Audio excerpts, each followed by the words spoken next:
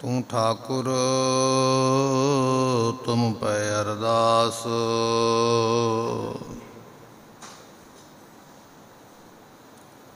ਜਿਉ ਪਿੰਡ ਸਭ ਤੇਰੀ ਰਾਸ।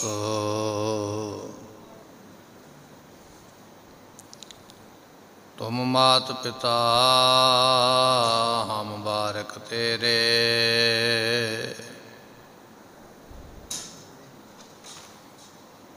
ਤੁਮਰੀ ਕਿਰਪਾ ਮੈਂ ਸੁਖ ਕਨੇਰੇ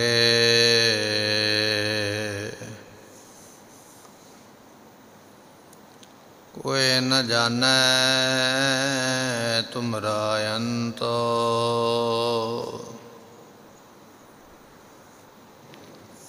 ਊਚੇ ਤੇ ਊਚਾ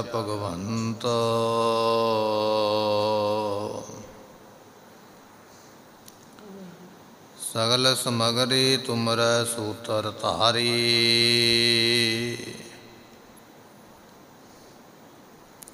ਤੁਮ ਤੇ ਹੋਏ ਸੁਭਾਗਿਆਕਾਰੀ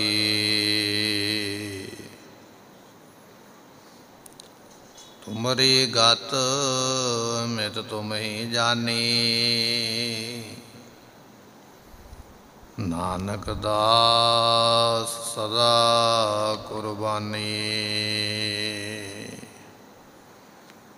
ਦੇਨਹਾਰ ਪ੍ਰਭ ਛੋੜ ਕੇ, ਲਾਗੈ ਆਨ ਸੁਵਾਏ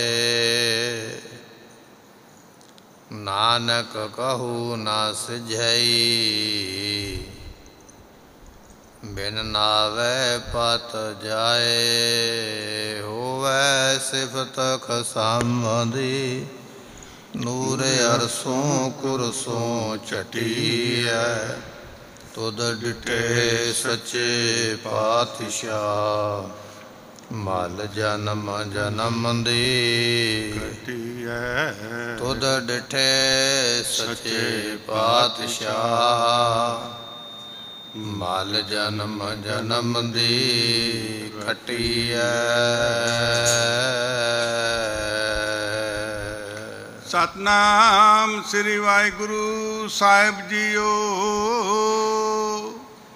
ਮਾਰੂ ਮਹਲਾ ਪਹਿਲਾ, ਘਰ ਪਹਿਲਾ। ਕਰਨੀ ਕਾਗਦ ਮਨ ਮਸਵਾਣੀ।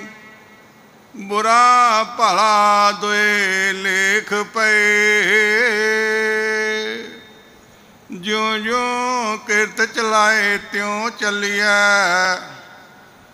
ਤੋ ਗੁਣ ਨਾਹੀ ਅੰਤ ਹਰੇ।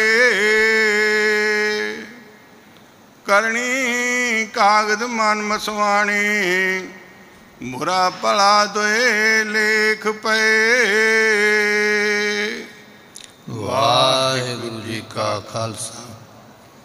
ਵਾਹਿਗੁਰੂ ਜੀ ਕੀ ਫਤਿਹ। ਸਤਿਗੁਰਾਂ ਦੀ ਸਾਜੀ ਨਵਾਜੀ ਗੁਰੂ ਕੀ ਸੰਗਤ। ਆਪ ਸੰਗਤ ਨੇ ਸਤਿਗੁਰਾਂ ਦੇ ਦਰਬਾਰ ਅੰਦਰ ਬੈਠ ਕੇ ਸਤਿਗੁਰਾਂ ਦੀ ਪਵਿੱਤਰ ਗੁਰਬਾਣੀ ਸ੍ਰੀ ਆਸਾ ਜੀ ਦੇ ਵਾਰ ਦੇ ਕੀਰਤਨ ਸਰਵਨ ਕਰਕੇ ਲਾਹਾ ਪ੍ਰਾਪਤ ਕੀਤਾ ਹੈ। ਇਸ ਵੇਲੇ ਸਤਿਗੁਰੂ ਕਿਰਪਾ ਕਰਕੇ ਗੁਰਬਾਣੀ ਦੀ ਕਥਾ ਦੇ ਨਾਲ ਸਾਨੂੰ ਨਿਹਾਲ ਕਰ ਰਹੇ ਨੇ। ਮਨ ਦੇ ਧਿਆਨ ਨੂੰ ਟਿਕਾਈਏ, ਭਾਵਨਾ ਦੇ ਨਾਲ ਅੰਮ੍ਰਿਤ ਬਚਨ ਸਰਵਨ ਕਰੀਏ। ਮਿਲ ਕੇ ਆਖੀਏ, ਸਤਨਾਮ। ਸ੍ਰੀ ਵਾਹਿਗੁਰੂ ਸਾਹਿਬ ਜੀ। ਸਤਨਾਮ ਸ੍ਰੀ ਵਾਹਿਗੁਰੂ ਸਾਹਿਬ ਜੀਓ। ਮਾਰੂ ਮਹਲਾ ਪਹਿਲਾ, ਘਰ ਪਹਿਲਾ। ਮਾਰੂ ਰਾਗ ਦੇ ਅੰਦਰ ਗੁਰੂ ਨਾਨਕ ਦੇਵ ਪਾਤਸ਼ਾਹ ਮਹਾਰਾਜ ਜੀ ਦਾ ਇਹ ਸ਼ਬਦ ਪਹਿਲੇ ਘਰ ਦੇ ਅੰਦਰ ਹੈ। ਇੱਕ ਮਨਮੁਖ ਪੁਰਸ਼ ਜੋ ਹੈ, ਪਦਾਰਥਾਂ ਵਿੱਚ ਫਸਿਆ ਹੋਇਆ ਸਤਿਗੁਰਾਂ ਦੇ ਕੋਲ ਚੱਲ ਕੇ ਆਇਆ ਮਹਾਰਾਜ ਸਾਹਿਬ ਜੀ ਨੇ ਉਪਦੇਸ਼ ਦਿੰਦਿਆਂ ਬਚਨ ਕੀਤੇ। ਚਿਤ ਚੇਤਸ ਕੀ ਨਹੀਂ ਬਾਵਰਿਆ। ਰਹਾਉ ਦੀਆਂ ਪੰਕਤੀਆਂ ਵਿੱਚ ਮਹਾਰਾਜ ਕਹਿਣ ਲੱਗੇ, ਬਾਵਰਿਆ ਚੱਲਿਆ ਪਰਮਾਤਮਾ ਨੂੰ ਚੇਤੇ ਕਿਉਂ ਨਹੀਂ ਕਰਦਾ? ਹੈ ਵਿਸ਼ੇ ਵਿਕਾਰਾਂ ਵਿੱਚ ਫਸਿਆ। ਸੰਸਾਰ ਦੀ ਮੋਹ ਵਿੱਚ ਮਮਤਾ ਵਿੱਚ ਫਸਿਆ ਹੋਇਆ ਪਰਮਾਤਮਾ ਨੂੰ ਚੇਤੇ ਕਿਉਂ ਨਹੀਂ ਕਰਦਾ? ਇਹ ਸ਼ਬਦ ਮਹਾਰਾਜ ਸਾਹਿਬ ਜੀਆਂ ਨੇ ਉਸ ਮਨਮੁਖ ਵਿਅਕਤੀ ਨੂੰ ਉਚਾਰਨ ਕਰਕੇ, ਬਖਸ਼ਿਸ਼ ਕਰਕੇ ਉਪਦੇਸ਼ ਦੇ ਕੇ ਨਿਹਾਲ ਕੀਤਾ। ਜਦੋਂ ਗੁਰੂ ਨਾਨਕ ਦੇਵ ਮਹਾਰਾਜ ਸਾਹਿਬ ਜੀ ਕਰਤਾਰਪੁਰ ਰਹਿੰਦੇ ਸਨ ਤੇ ਉਸ ਵੇਲੇ ਮਹਾਰਾਜ ਦੇ ਦਰਬਾਰ ਵਿੱਚ ਇਸ ਸ਼ਬਦ ਦਾ ਕੀਰਤਨ ਹਰ ਰੋਜ਼ ਹੋਇਆ ਕਰਦਾ। ਤੇ ਸੰਗਤਾਂ ਇਸ ਸ਼ਬਦ ਨੂੰ ਹਰ ਰੋਜ਼ ਸਰਵਨ ਕਰਿਆ ਕਰਦੀਆਂ। ਕਰਤਾਰਪੁਰ ਸਾਹਿਬ ਦੀ ਧਰਤੀ ਤੇ ਧੰਨ ਗੁਰੂ ਅੰਗਦ ਦੇ ਪਾਤਸ਼ਾਹ ਮਹਾਰਾਜ ਸਾਹਿਬ ਜੀ ਭਾਈ ਲੈਣਾ ਜੀ ਦੇ ਰੂਪ ਦੇ ਵਿੱਚ ਹਾਜ਼ਰ ਹੋ ਕੇ ਸੇਵਾ ਕਰਦੇ। ਤੇ ਭਾਈ ਲੈਣਾ ਸਾਹਿਬ ਜੀ ਰੋਜ਼ ਇਹ ਸ਼ਬਦ ਜਿਹੜਾ ਸੀ ਗੁਰਬਾਣੀ ਦਾ, ਮਹਾਰਾਜ ਦੇ ਦਰਬਾਰ ਦੇ ਅੰਦਰ ਸਰਵਣ ਕਰਿਆ ਕਰਦੇ। ਸ਼ਬਦ ਸਰਵਣ ਕਰਦਿਆਂ ਜ਼ੁਬਾਨੀ ਯਾਦ ਇਸ ਸ਼ਬਦ ਨੂੰ ਕਈ ਵਾਰੀ ਭਾਈ ਲੈਣਾ ਸਾਹਿਬ ਜੀ ਪੜਿਆ ਕਰਦੇ। ਗੁਰਤਾ ਗੱਦੀ ਦੀ ਦਾਤ ਪ੍ਰਾਪਤ ਕਰਕੇ ਭਾਈ ਲੈਣਾ ਸਾਹਿਬ ਜੀ ਗੁਰੂ ਅੰਗਦ ਸਾਹਿਬ ਜੀ ਦਾ ਰੂਪ ਹੋ ਗਏ। ਖਡੂਰ ਸਾਹਿਬ ਦੀ ਧਰਤੀ ਤੇ ਆ ਕੇ ਨਿਵਾਸ ਕੀਤਾ ਤੇ ਉਹੀ ਮਰਿਆਦਾ ਜੋ ਗੁਰੂ ਨਾਨਕ ਦੇ ਪਾਤਸ਼ਾਹ ਮਹਾਰਾਜ ਸਾਹਿਬ ਜੀ ਕਰਤਾਰਪੁਰ ਸਾਹਿਬ ਦੀ ਧਰਤੀ ਤੇ ਵਰਤੋਂਦੇ ਸਨ, ਇਹੋ ਹੀ ਸ਼ਬਦ ਫਿਰ ਖਡੂਰ ਸਾਹਿਬ, ਜਦੋਂ ਗੁਰੂ ਅੰਗਦ ਦੇ ਪਾਤਸ਼ਾਹ ਦਾ ਦਰਬਾਰ ਸਜਣਾ ਤੇ ਇਹ ਸ਼ਬਦ ਉਸ ਵੇਲੇ ਰਾਗੀ ਸਿੰਘਾਂ ਨੇ ਗਾਇਨ ਕਰਨਾ ਤੇ ਸੰਗਤਾਂ ਨੇ ਇਹ ਸ਼ਬਦ ਸਰਵਨ ਕਰਿਆ ਕਰਨਾ। ਗੁਰੂ ਅੰਗਦ ਦੇਵ ਮਹਾਰਾਜ ਜੀਆਂ ਦੀ ਸੁਪੁੱਤਰੀ ਦਾ ਨਾਮ ਬੀਬੀ ਅਮਰੋ ਹੈ। ਚਾਰ ਬੱਚੇ ਸਨ ਗੁਰੂ ਅੰਗਦ ਦੇਵ ਪਾਤਸ਼ਾਹ ਦੇ। ਤੇ ਉਹਨਾਂ ਦੇ ਵਿੱਚੋਂ ਇੱਕ ਬੀਬੀ ਅਮਰੋ ਜੀ ਧੰਨ ਗੁਰੂ ਅੰਗਦ ਦੇਵ ਮਹਾਰਾਜ ਜੀਆਂ ਦੇ ਸੁਪੁੱਤਰੀ ਸਨ। ਉਹਨਾਂ ਨੇ ਵੀ ਇਹ ਸ਼ਬਦ ਜਿਹੜਾ ਜ਼ੁਬਾਨੀ ਯਾਦ ਕਰ ਲਿਆ। ਹਰ ਵੇਲੇ ਗੁਰਬਾਣੀ ਦਾ ਇਹ ਸ਼ਬਦ ਉਹਨਾਂ ਨੇ ਘਰ ਦੇ ਵਿੱਚ ਕੰਮ ਕਰਦਿਆਂ ਹੋਇਆਂ ਪੜ੍ਹਦੇ ਰਹਿਣਾ ਇਸ ਗੁਰਬਾਣੀ ਦੇ ਸ਼ਬਦ ਨੂੰ।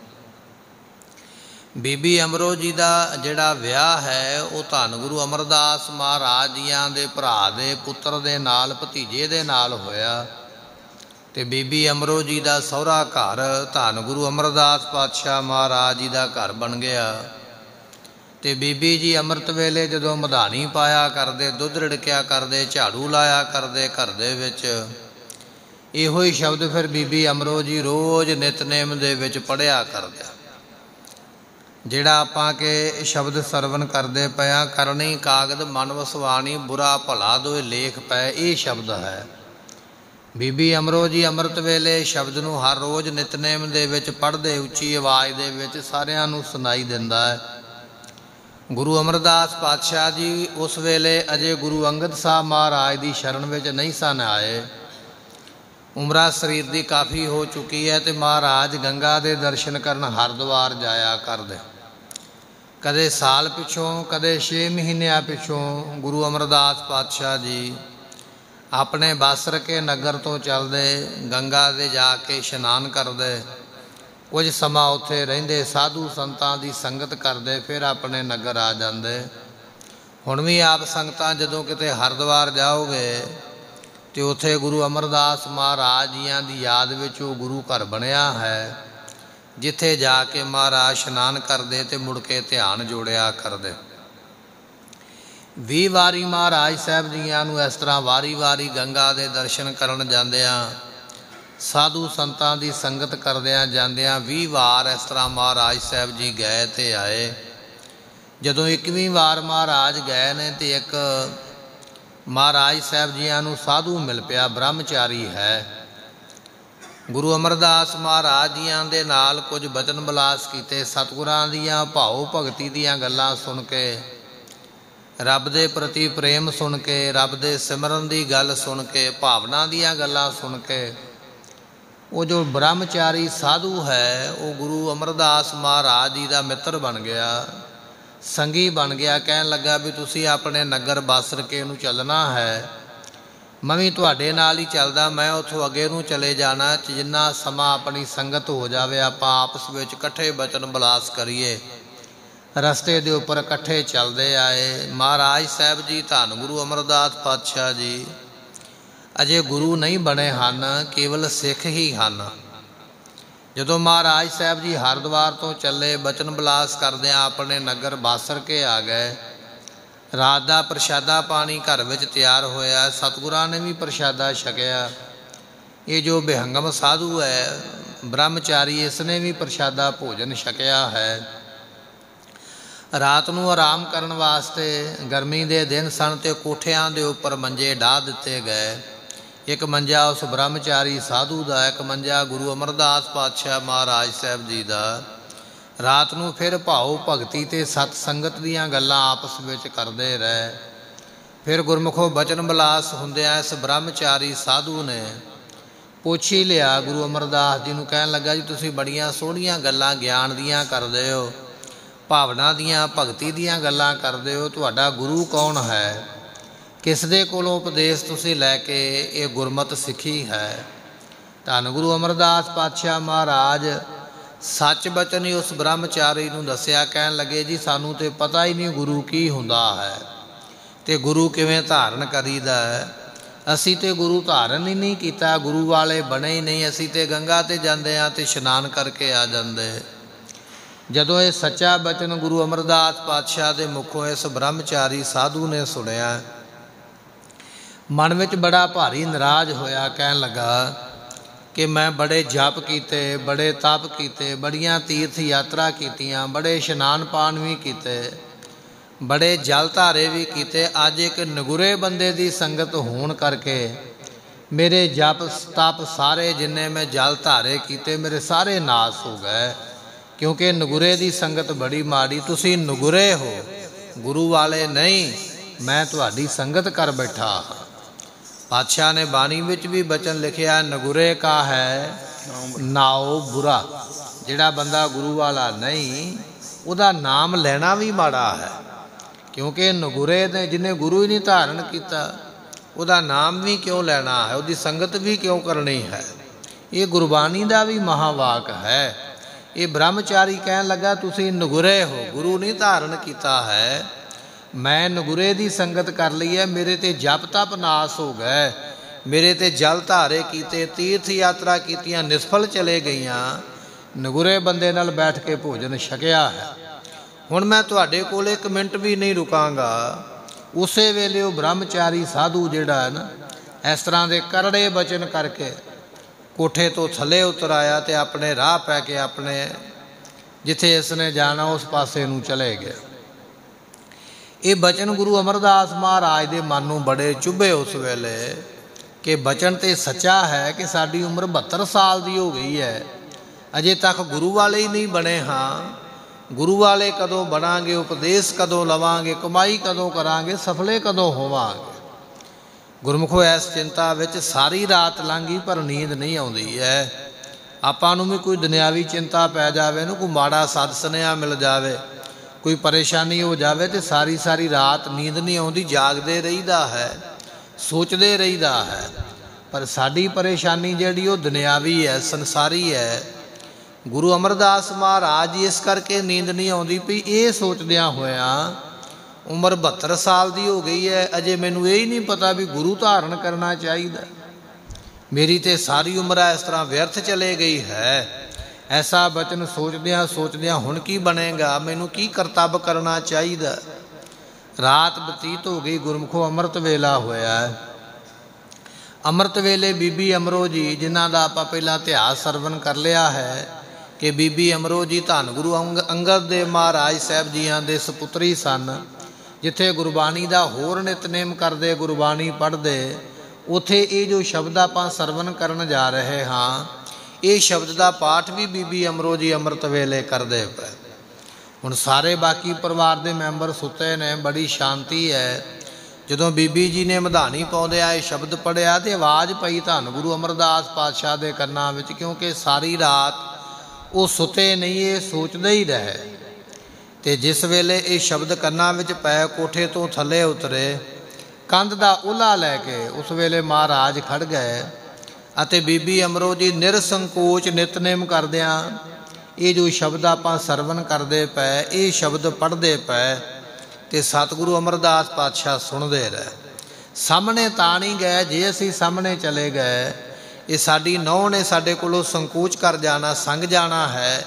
ਸ਼ਰਮ ਮੰਨਦਿਆਂ ਹੋਇਆਂ ਇਹਨਾਂ ਨੇ ਚੁੱਪ ਕਰ ਜਾਣਾ ਹੈ। ਪਰ ਜਿਹੜੇ ਇਹ ਬਚਨ ਪੜ੍ਹਦੇ ਪਏ, ਇਹਨਾਂ ਨੂੰ ਸੁਣ ਕੇ ਬੜਾ ਆਨੰਦ ਆ ਰਿਹਾ ਹੈ, ਬੜਾ ਚੈਨ ਆ ਰਿਹਾ ਹੈ। ਉਸ ਵੇਲੇ ਬੀਬੀ ਜੀ ਨੇ ਬਚਨ ਪੜਿਆ ਜੋ ਗੁਰਬਾਣੀ ਦੇ ਅੰਦਰ ਲਿਖਿਆ ਹੈ। ਕਹਿਣ ਲੱਗੇ, ਬਚਨ ਇਹ ਭਇਆ ਮਨੂਰ ਕੰਚਨ ਫਿਰ ਹੋਵੇ, ਜੇ ਗੁਰ ਮਿਲੈ ਤਨੇਹਾ। ਗੁਰਬਾਣੀ ਦਾ ਸ਼ਬਦ ਪੰਕਤੀ ਇਹ ਹੈ ਕਿ ਜਿਹੜਾ ਮਨੂਰ ਲੋਹਾ ਹੋਇਆ ਕਰਦਾ, ਸੜਿਆ ਹੋਇਆ ਲੋਹਾ ਹੋਇਆ ਕਰਦਾ ਹੈ, ਪਾਰਸ ਨਾਲ ਮਿਲ ਜਾਵੇ ਤੇ ਉਹ ਵੀ ਸਫਲਾ ਹੋ ਜਾਂਦਾ ਹੈ। ਇਸ ਤਰ੍ਹਾਂ ਜਿਹੜੇ ਮਨੂਰ ਲੋਹੇ ਦੇ ਵਾਂਗ ਮਨਮੁਖ ਸੜੇ ਹੋਏ ਨੇ ਉਹ ਗੁਰੂ ਰੂਪੀ ਪਾਰਸ ਨਾਲ ਮਿਲ ਜਾਣ ਤੇ ਸੋਨੇ ਵਰਗੇ ਸੁੱਧ ਤੇ ਕੀਮਤੀ ਹੋ ਜਾਂਦੇ। ਜਦੋਂ ਇਹ ਬਚਨ ਸੁਨਿਆ ਮਨ ਨੂੰ ਹੋਰ ਠੋਕਰ ਲੱਗੀ ਹੈ ਵੀ ਇਹ ਤੇ ਮੇਰੀ ਹਾਲਤ ਹੀ ਬਿਆਨ ਕੀਤੀ ਮਹਾਰਾਜ ਨੇ। ਇਹ ਸ਼ਬਦ ਦੇ ਅੰਦਰ ਉਸ ਵੇਲੇ ਸਤਿਗੁਰੂ ਅਮਰਦਾਸ ਪਾਤਸ਼ਾਹ ਜੀ ਸਾਹਮਣੇ ਹੋਏ। ਬੀਬੀ ਅਮਰਦਾਸ, ਬੀਬੀ ਅਮਰੋ ਜੀ ਬਾਣੀ ਪੜ੍ਹਦਿਆਂ ਹੋਇਆਂ ਆਪਣੇ ਮੁਖ ਤੋਂ ਸੰਕੋਚ ਕਰ ਲਿਆ। ਥੋੜੀ ਸੰਗ ਸ਼ਰਮ ਮੰਨੀ ਹੈ। ਆਪਣੇ ਸਹੁਰਾ ਜੀ ਨੂੰ ਸਾਹਮਣੇ ਵੇਖ ਕੇ ਉਸ ਵੇਲੇ ਸਤਿਗੁਰੂ ਅਮਰਦਾਸ ਪਾਤਸ਼ਾਹ ਕਹਿਣ ਲੱਗੇ, ਜਿਹੜੇ ਤੁਸੀਂ ਬਚਨ ਪੜ੍ਹੇ ਬੀਬੀ ਜੀ, ਮਨ ਨੂੰ ਬੜੀ ਸ਼ਾਂਤੀ ਦੇਣ ਵਾਲੇ, ਬੜੇ ਆਨੰਦ ਦੇਣ ਵਾਲੇ, ਤੁਸੀਂ ਸੰਕੋਚ ਕਿਉਂ ਕੀਤਾ ਹੈ? ਉਹਨਾਂ ਬਚਨਾਂ ਨੂੰ ਦੁਬਾਰਾ ਫਿਰ ਸਾਨੂੰ ਸੁਣਾਓ। ਇਹ ਸ਼ਬਦ ਦੁਬਾਰਾ ਫਿਰ ਕੋਲ ਬੈਠ ਕੇ ਸੁਣਿਆ। ਪੁੱਛਿਆ, ਕਹਿਣ ਲੱਗੇ, ਇਹ ਸ਼ਬਦ ਕਿਹਨਾਂ ਦਾ ਹੈ? ਤੁਹਾਨੂੰ ਕਿੱਥੋਂ ਪ੍ਰਾਪਤ ਹੋਇਆ ਹੈ? ਬੀਬੀ ਅਮਰੋ ਜੀ ਕਹਿਣ ਲੱਗੇ ਵੀ, ਇਹ ਸ਼ਬਦ ਧੰਨ ਗੁਰੂ ਨਾਨਕ ਦੇਵ ਪਾਤਸ਼ਾਹ ਮਹਾਰਾਜ ਜੀ ਦਾ ਹੈ। ਇਹ ਉਹਨਾਂ ਨੇ ਇਹ ਸ਼ਬਦ ਬਖਸ਼ਿਸ਼ ਕੀਤਾ ਹੈ। ਇਹ ਸ਼ਬਦ ਦਾ ਕੀਰਤਨ ਕਰਤਾਰਪੁਰ ਦੇ ਵਿੱਚ ਹਰ ਵੇਲੇ ਹੋਇਆ ਕਰਦਾ ਹੈ। ਮੇਰੇ ਪਿਤਾ ਜੀ ਉਹਨਾਂ ਦੀ ਸੰਗਤ ਵਿੱਚ ਰਹਿ ਅਤੇ ਫਿਰ ਇਹ ਸ਼ਬਦ ਸਾਡੇ ਘਰ ਵਿੱਚ ਵਿੱਚ ਵੀ ਪੜਿਆ ਜਾਣ ਲੱਗਿਆ ਹੈ। ਮੈਂ ਇਸ ਸ਼ਬਦ ਨੂੰ ਜ਼ੁਬਾਨੀ ਯਾਦ ਕਰਿਆ ਹੋਇਆ ਹੈ। ਉਸ ਵੇਲੇ ਧੰਨ ਗੁਰੂ ਅਮਰਦਾਸ ਪਾਤਸ਼ਾਹ ਮਹਾਰਾਜ ਪੁੱਛਣ ਲੱਗੇ, ਕਹਿੰਦੇ ਫਿਰ ਗੁਰੂ ਨਾਨਕ ਸਾਹਿਬ ਦਾ ਦਦਾਰਾ ਕਰਨਾ ਹੋਵੇ। ਤੇ ਕਿਵੇਂ ਪ੍ਰਾਪਤ ਹੋ ਸਕਦਾ ਹੈ? ਉਸ ਵੇਲੇ ਬੀਬੀ ਅਮਰੋ ਜੀ ਕਹਿਣ ਲੱਗੇ, ਗੁਰੂ ਨਾਨਕ ਦੇਵ ਪਾਤਸ਼ਾਹ ਤੇ ਸੱਚਖੰਡ ਚਲੇ ਗਏ, ਪਰ ਉਹਨਾਂ ਦੀ ਥਾਂ ਤੇ ਮੇਰੇ ਪਿਤਾ ਧੰਨ ਗੁਰੂ ਅੰਗਦ ਦੇਵ ਮਹਾਰਾਜ ਸਾਹਿਬ ਜੀ ਬਰਾਜੇ ਨੇ। ਗੁਰਮੁਖੋ ਉਮਰਾ ਦੇ ਵਿੱਚ ਵੀ ਗੁਰੂ ਨਾਨਕ ਸਾਹਿਬ ਜੀ 10 ਸਾਲ ਵੱਡੇ ਸਨ। ਧੰਨ ਗੁਰੂ ਅਮਰਦਾਸ ਪਾਤਸ਼ਾਹ ਮਹਾਰਾਜ ਨਾਲੋਂ। ਸੋ ਮਹਾਰਾਜ ਜੀ ਦਾ 69 ਦੇ ਵਿੱਚ 1469 ਦੇ ਵਿੱਚ ਪ੍ਰਕਾਸ਼ ਗੁਰੂ ਨਾਨਕ ਪਾਤਸ਼ਾਹ ਜੀ ਦਾ ਅਤੇ ਗੁਰੂ ਅਮਰਦਾਸ ਪਾਤਸ਼ਾਹ ਦਾ 1479 ਦੇ ਵਿੱਚ 10 ਸਾਲ ਦਾ ਫ਼ਰਕ ਹੈ। ਪਰ ਗੁਰੂ ਨਾਨਕ ਸਾਹਿਬ ਦੇ ਨਾਲ ਕਦੇ ਮਿਲਾਪ ਨਹੀਂ ਹੋਇਆ। ਉਸ ਵੇਲੇ ਬੀਬੀ ਅਮਰੋ ਜੀ ਦੱਸਦੇ ਪਏ ਵੀ ਗੁਰੂ ਨਾਨਕ ਦੇ ਪਾਤਸ਼ਾਹ ਤੇ ਸੱਚਖੰਡ ਚਲੇ ਗਏ। ਉਹਨਾਂ ਦੀ ਥਾਂ ਤੇ ਮੇਰੇ ਪਿਤਾ ਜੀ ਇਸ ਵੇਲੇ ਗੁਰਤਾ ਗੱਦੀ ਤੇ ਬੈਠੇ ਨੇ। ਗੁਰੂ ਪਦਵੀ ਉਹਨਾਂ ਦੇ ਕੋਲ ਹੈ। ਇਹ ਬਚਨ ਸੁਣ ਕੇ ਫਿਰ ਗੁਰੂ ਅਮਰਦਾਸ ਪਾਤਸ਼ਾਹ ਕਹਿਣ ਲੱਗੇ, ਬੀਬੀ ਜੀ, ਸਾਨੂੰ ਫਿਰ ਆਪਣੇ ਪਿਤਾ ਦੇ ਕੋਲ ਲੈ ਚੱਲੋ। ਸਾਡੀ ਉਮਰਾ ਬਹੁਤੀ ਬਤੀਤ ਹੋ ਗਈ ਹੈ। ਅਸੀਂ ਚਾਹੁੰਦੇ ਆ ਕਿ ਬਾਕੀ ਦੀ ਉਮਰਾ ਗੁਰੂ ਨੂੰ ਮਿਲ ਕੇ ਸਫਲੀ ਕਰੀਏ। ਉਸ ਵੇਲੇ ਬੀਬੀ ਅਮਰੋ ਜੀ ਕਹਿਣ ਲੱਗੇ, ਕਹਿੰਦੇ, ਪਿਤਾ, ਸਤਿਗੁਰੂ ਦੀ ਇਹ ਆਗਿਆ ਹੈ ਕਿ ਬੀਬੀ ਜੀ ਜਿੰਨਾ ਚਿਰ ਬੁਲਾਈਏ ਨਾ ਉਹਨਾਂ ਚਿਰ ਤੁਸੀਂ ਪੇਕੇ ਘਰ ਆਉਣਾ ਨਹੀਂ ਹੈ। ਤੇ ਜਦੋਂ ਤੁਹਾਨੂੰ ਪੇਕੇ ਘਰ ਬੁਲਾ ਲਈਏ, ਫਿਰ ਜਿੰਨਾ ਚਿਰ ਭੇਜੀਏ ਨਾ ਉਹਨਾਂ ਚਿਰ ਆਪਣੀ ਮਰਜ਼ੀ ਨਾਲ ਜਾਣਾ ਨਹੀਂ ਹੈ। ਇਹ ਸਾਡੇ ਵੱਡਿਆਂ ਦੀ ਮਰਿਆਦਾ ਸੀ ਉਸ ਵੇਲੇ ਕਿ ਬਿਨਾ ਕੰਮ ਤੋਂ, ਬਿਨਾ ਬੁਲਾਵੇ ਤੋਂ ਘਰ ਨਹੀਂ ਆਉਣਾ ਹੈ ਤੇ ਬਿਨਾ ਭੇਜਣ ਤੋਂ ਜਾਣਾ ਨਹੀਂ ਹੈ। ਇਹ ਰੋ ਰੀਤ, ਇਹ ਮਰਿਆਦਾ ਸਾਡੇ ਬਜ਼ੁਰਗਾਂ ਦੀ, ਜਿੱਥੋਂ ਸਾਨੂੰ ਕਈ ਤਰ੍ਹਾਂ ਦੀ ਸਿੱਖਿਆ ਮਿਲਦੀ ਹੈ। ਅੱਜ ਤੇ ਗੁਰਮੁਖੋ ਸਮਾਂ ਬਦਲਿਆ ਨਾ, ਬਿਨਾ ਬੁਲਾਉਣ ਤੋਂ ਹੀ ਅਗਲੇ ਦੇ ਘਰੇ ਪਹੁੰਚ ਜਾਈਦਾ ਹੈ ਤੇ ਬਿਨਾ ਹੀ ਕਹਿਣ ਤੋਂ ਫਿਰ ਵਾਪਸ ਵੀ ਆ ਜਾਈਦਾ ਹੈ। ਘਰਾਂ ਦੇ ਵਿੱਚ ਕਲੇਸ਼ ਵੱਧ ਗਏ, ਝਗੜੇ ਵੱਧ ਗਏ। ਕਈ ਤਰ੍ਹਾਂ ਦੇ ਉਪਦਰਵ ਹੋਣੇ ਸ਼ੁਰੂ ਹੋ ਗਏ। ਅੱਜ ਕੱਲ ਸਾਧਨ ਬਣ ਗਏ ਆਉਣ ਜਾਣ ਦੇ। ਕਿਸੇ ਵੱਡੇ ਛੋਟੇ ਨੂੰ ਨਹੀਂ ਪੁੱਛਿਆ ਜਾਂਦਾ, ਆਪਣੀ ਮਰਜ਼ੀ ਨਾਲ ਹੀ। ਸੋ ਪੇਕੇ ਘਰੇ ਚਲੇ ਜਾਓ, ਆਪਣੀ ਮਰਜ਼ੀ ਨਾਲ ਹੀ ਸਹੁਰੇ ਘਰ ਚਲੇ ਜਾਓ। ਕੋਈ ਕਿਸੇ ਨੂੰ ਪੁੱਛਦਾ ਨਹੀਂ, ਕੋਈ ਦੱਸਦਾ ਨਹੀਂ, ਕੋਈ ਸਲਾਹ ਨਹੀਂ ਹੈ। ਤੇ ਉਹਦਾ ਕਾਰਨ ਹੈ ਵੀ ਇਸ ਤਰ੍ਹਾਂ ਫਿਰ ਅੱਗੇ ਝਗੜੇ ਵੱਧ ਜਾਂਦੇ, ਇੱਕ ਦੂਜੇ ਦੇ ਉੱਪਰ ਸ਼ੰਕਾ, ਸ਼ੱਕ ਪੈਦਾ ਹੋ ਜਾਂਦਾ, ਝਗੜੇ, ਕਲੇਸ਼ ਵੱਧ ਜਾਂਦੇ। ਰੋ ਵਿਚਾਰ ਇਹ ਆ ਵੀ ਆਪਾਂ ਗੁਰੂ ਦਾ ਸ਼ਬਦ ਸਰਵਨ ਕਰ ਰਹੇ ਹਾਂ। ਸੰਸਾਰ ਦੇ ਲੋਕਾਂ ਦੀ ਹਾਲਤ ਇਹੋ ਹੀ ਰਹਿਣੀ ਹੈ ਜੋ ਚੱਲਦੀ ਪਈ ਹੈ।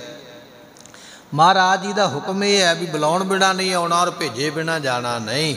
ਬੀਬੀ ਅਮਰੋ ਜੀ ਕਹਿਣ ਲੱਗੇ, ਮਹਾਰਾਜ, ਪਿਤਾ ਸਤਿਗੁਰੂ ਦੀ ਇਹ ਆਗਿਆ ਹੈ, ਮੈਂ ਉਹਨਾਂ ਦੇ ਬੁਲਾਵੇ ਬਿਨਾ ਕਿਵੇਂ ਜਾ ਸਕਦੀ ਹਾਂ? ਉਸ ਵੇਲੇ ਗੁਰੂ ਅਮਰਦਾਸ ਪਾਤਸ਼ਾਹ ਕਹਿਣ ਲੱਗੇ, ਤੁਸੀਂ ਸਾਡੇ ਕਹਿਣ ਤੇ ਚੱਲੋ, ਅਸੀਂ ਵੀ ਤੁਹਾਡੇ ਪਿਤਾ ਦੇ ਸਮਾਨ ਹੀ ਹਾਂ। ਸਾਡਾ ਬਚਨ ਮੰਨ ਕੇ ਚੱਲੋ, ਤੁਹਾਡੇ ਪਿਤਾ ਤੁਹਾਨੂੰ ਕੁਝ ਨਹੀਂ ਕਹਿਣਗੇ। ਅਸੀਂ ਆਪ ਜਾ ਕੇ ਬੇਨਤੀ ਕਰ ਲਵਾਂਗੇ ਵੀ ਅਸੀਂ ਲੈ ਕੇ ਆਏ ਹਾਂ।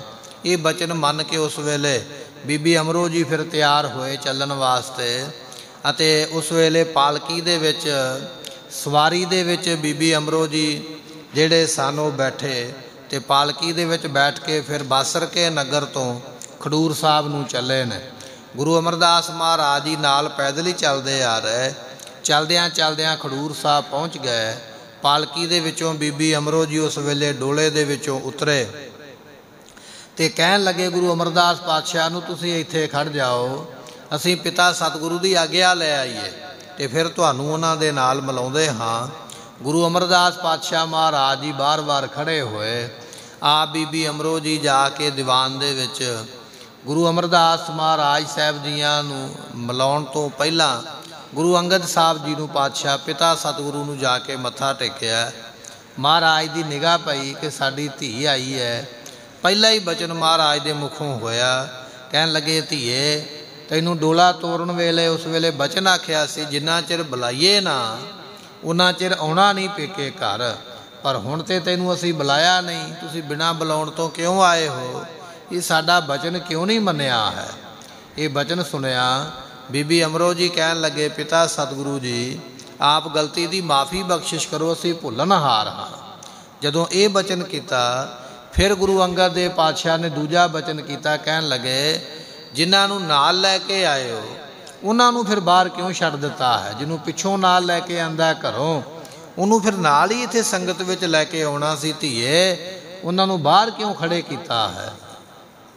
ਉਸ ਵੇਲੇ ਬਚਨ ਸੁਣ ਕੇ ਬੀਬੀ ਅਮਰੋ ਜੀ ਕਹਿਣ ਲੱਗੇ, ਪਿਤਾ ਸਤਿਗੁਰੂ ਜੀ, ਮੈਂ ਉਹਨਾਂ ਦੇ ਕਹਿਣ ਕਰਕੇ ਇੱਥੇ ਤੁਹਾਡੇ ਕੋਲ ਆਈ ਹਾਂ ਅਤੇ ਹੁਣ ਮੈਂ ਤੁਹਾਡੀ ਆਗਿਆ ਲੈਣ ਵਾਸਤੇ ਆਈ, ਜੇ ਤੁਹਾਡਾ ਹੁਕਮ ਹੋਵੇਗਾ ਤੇ ਫਿਰ ਉਹਨਾਂ ਦੇ ਨਾਲ ਤੁਹਾਡਾ ਮਲਾਪ ਕਰਵਾਵਾਂ, ਮੈਂ ਹੁਕਮ ਲੈਣ ਵਾਸਤੇ ਆਈ ਹਾਂ।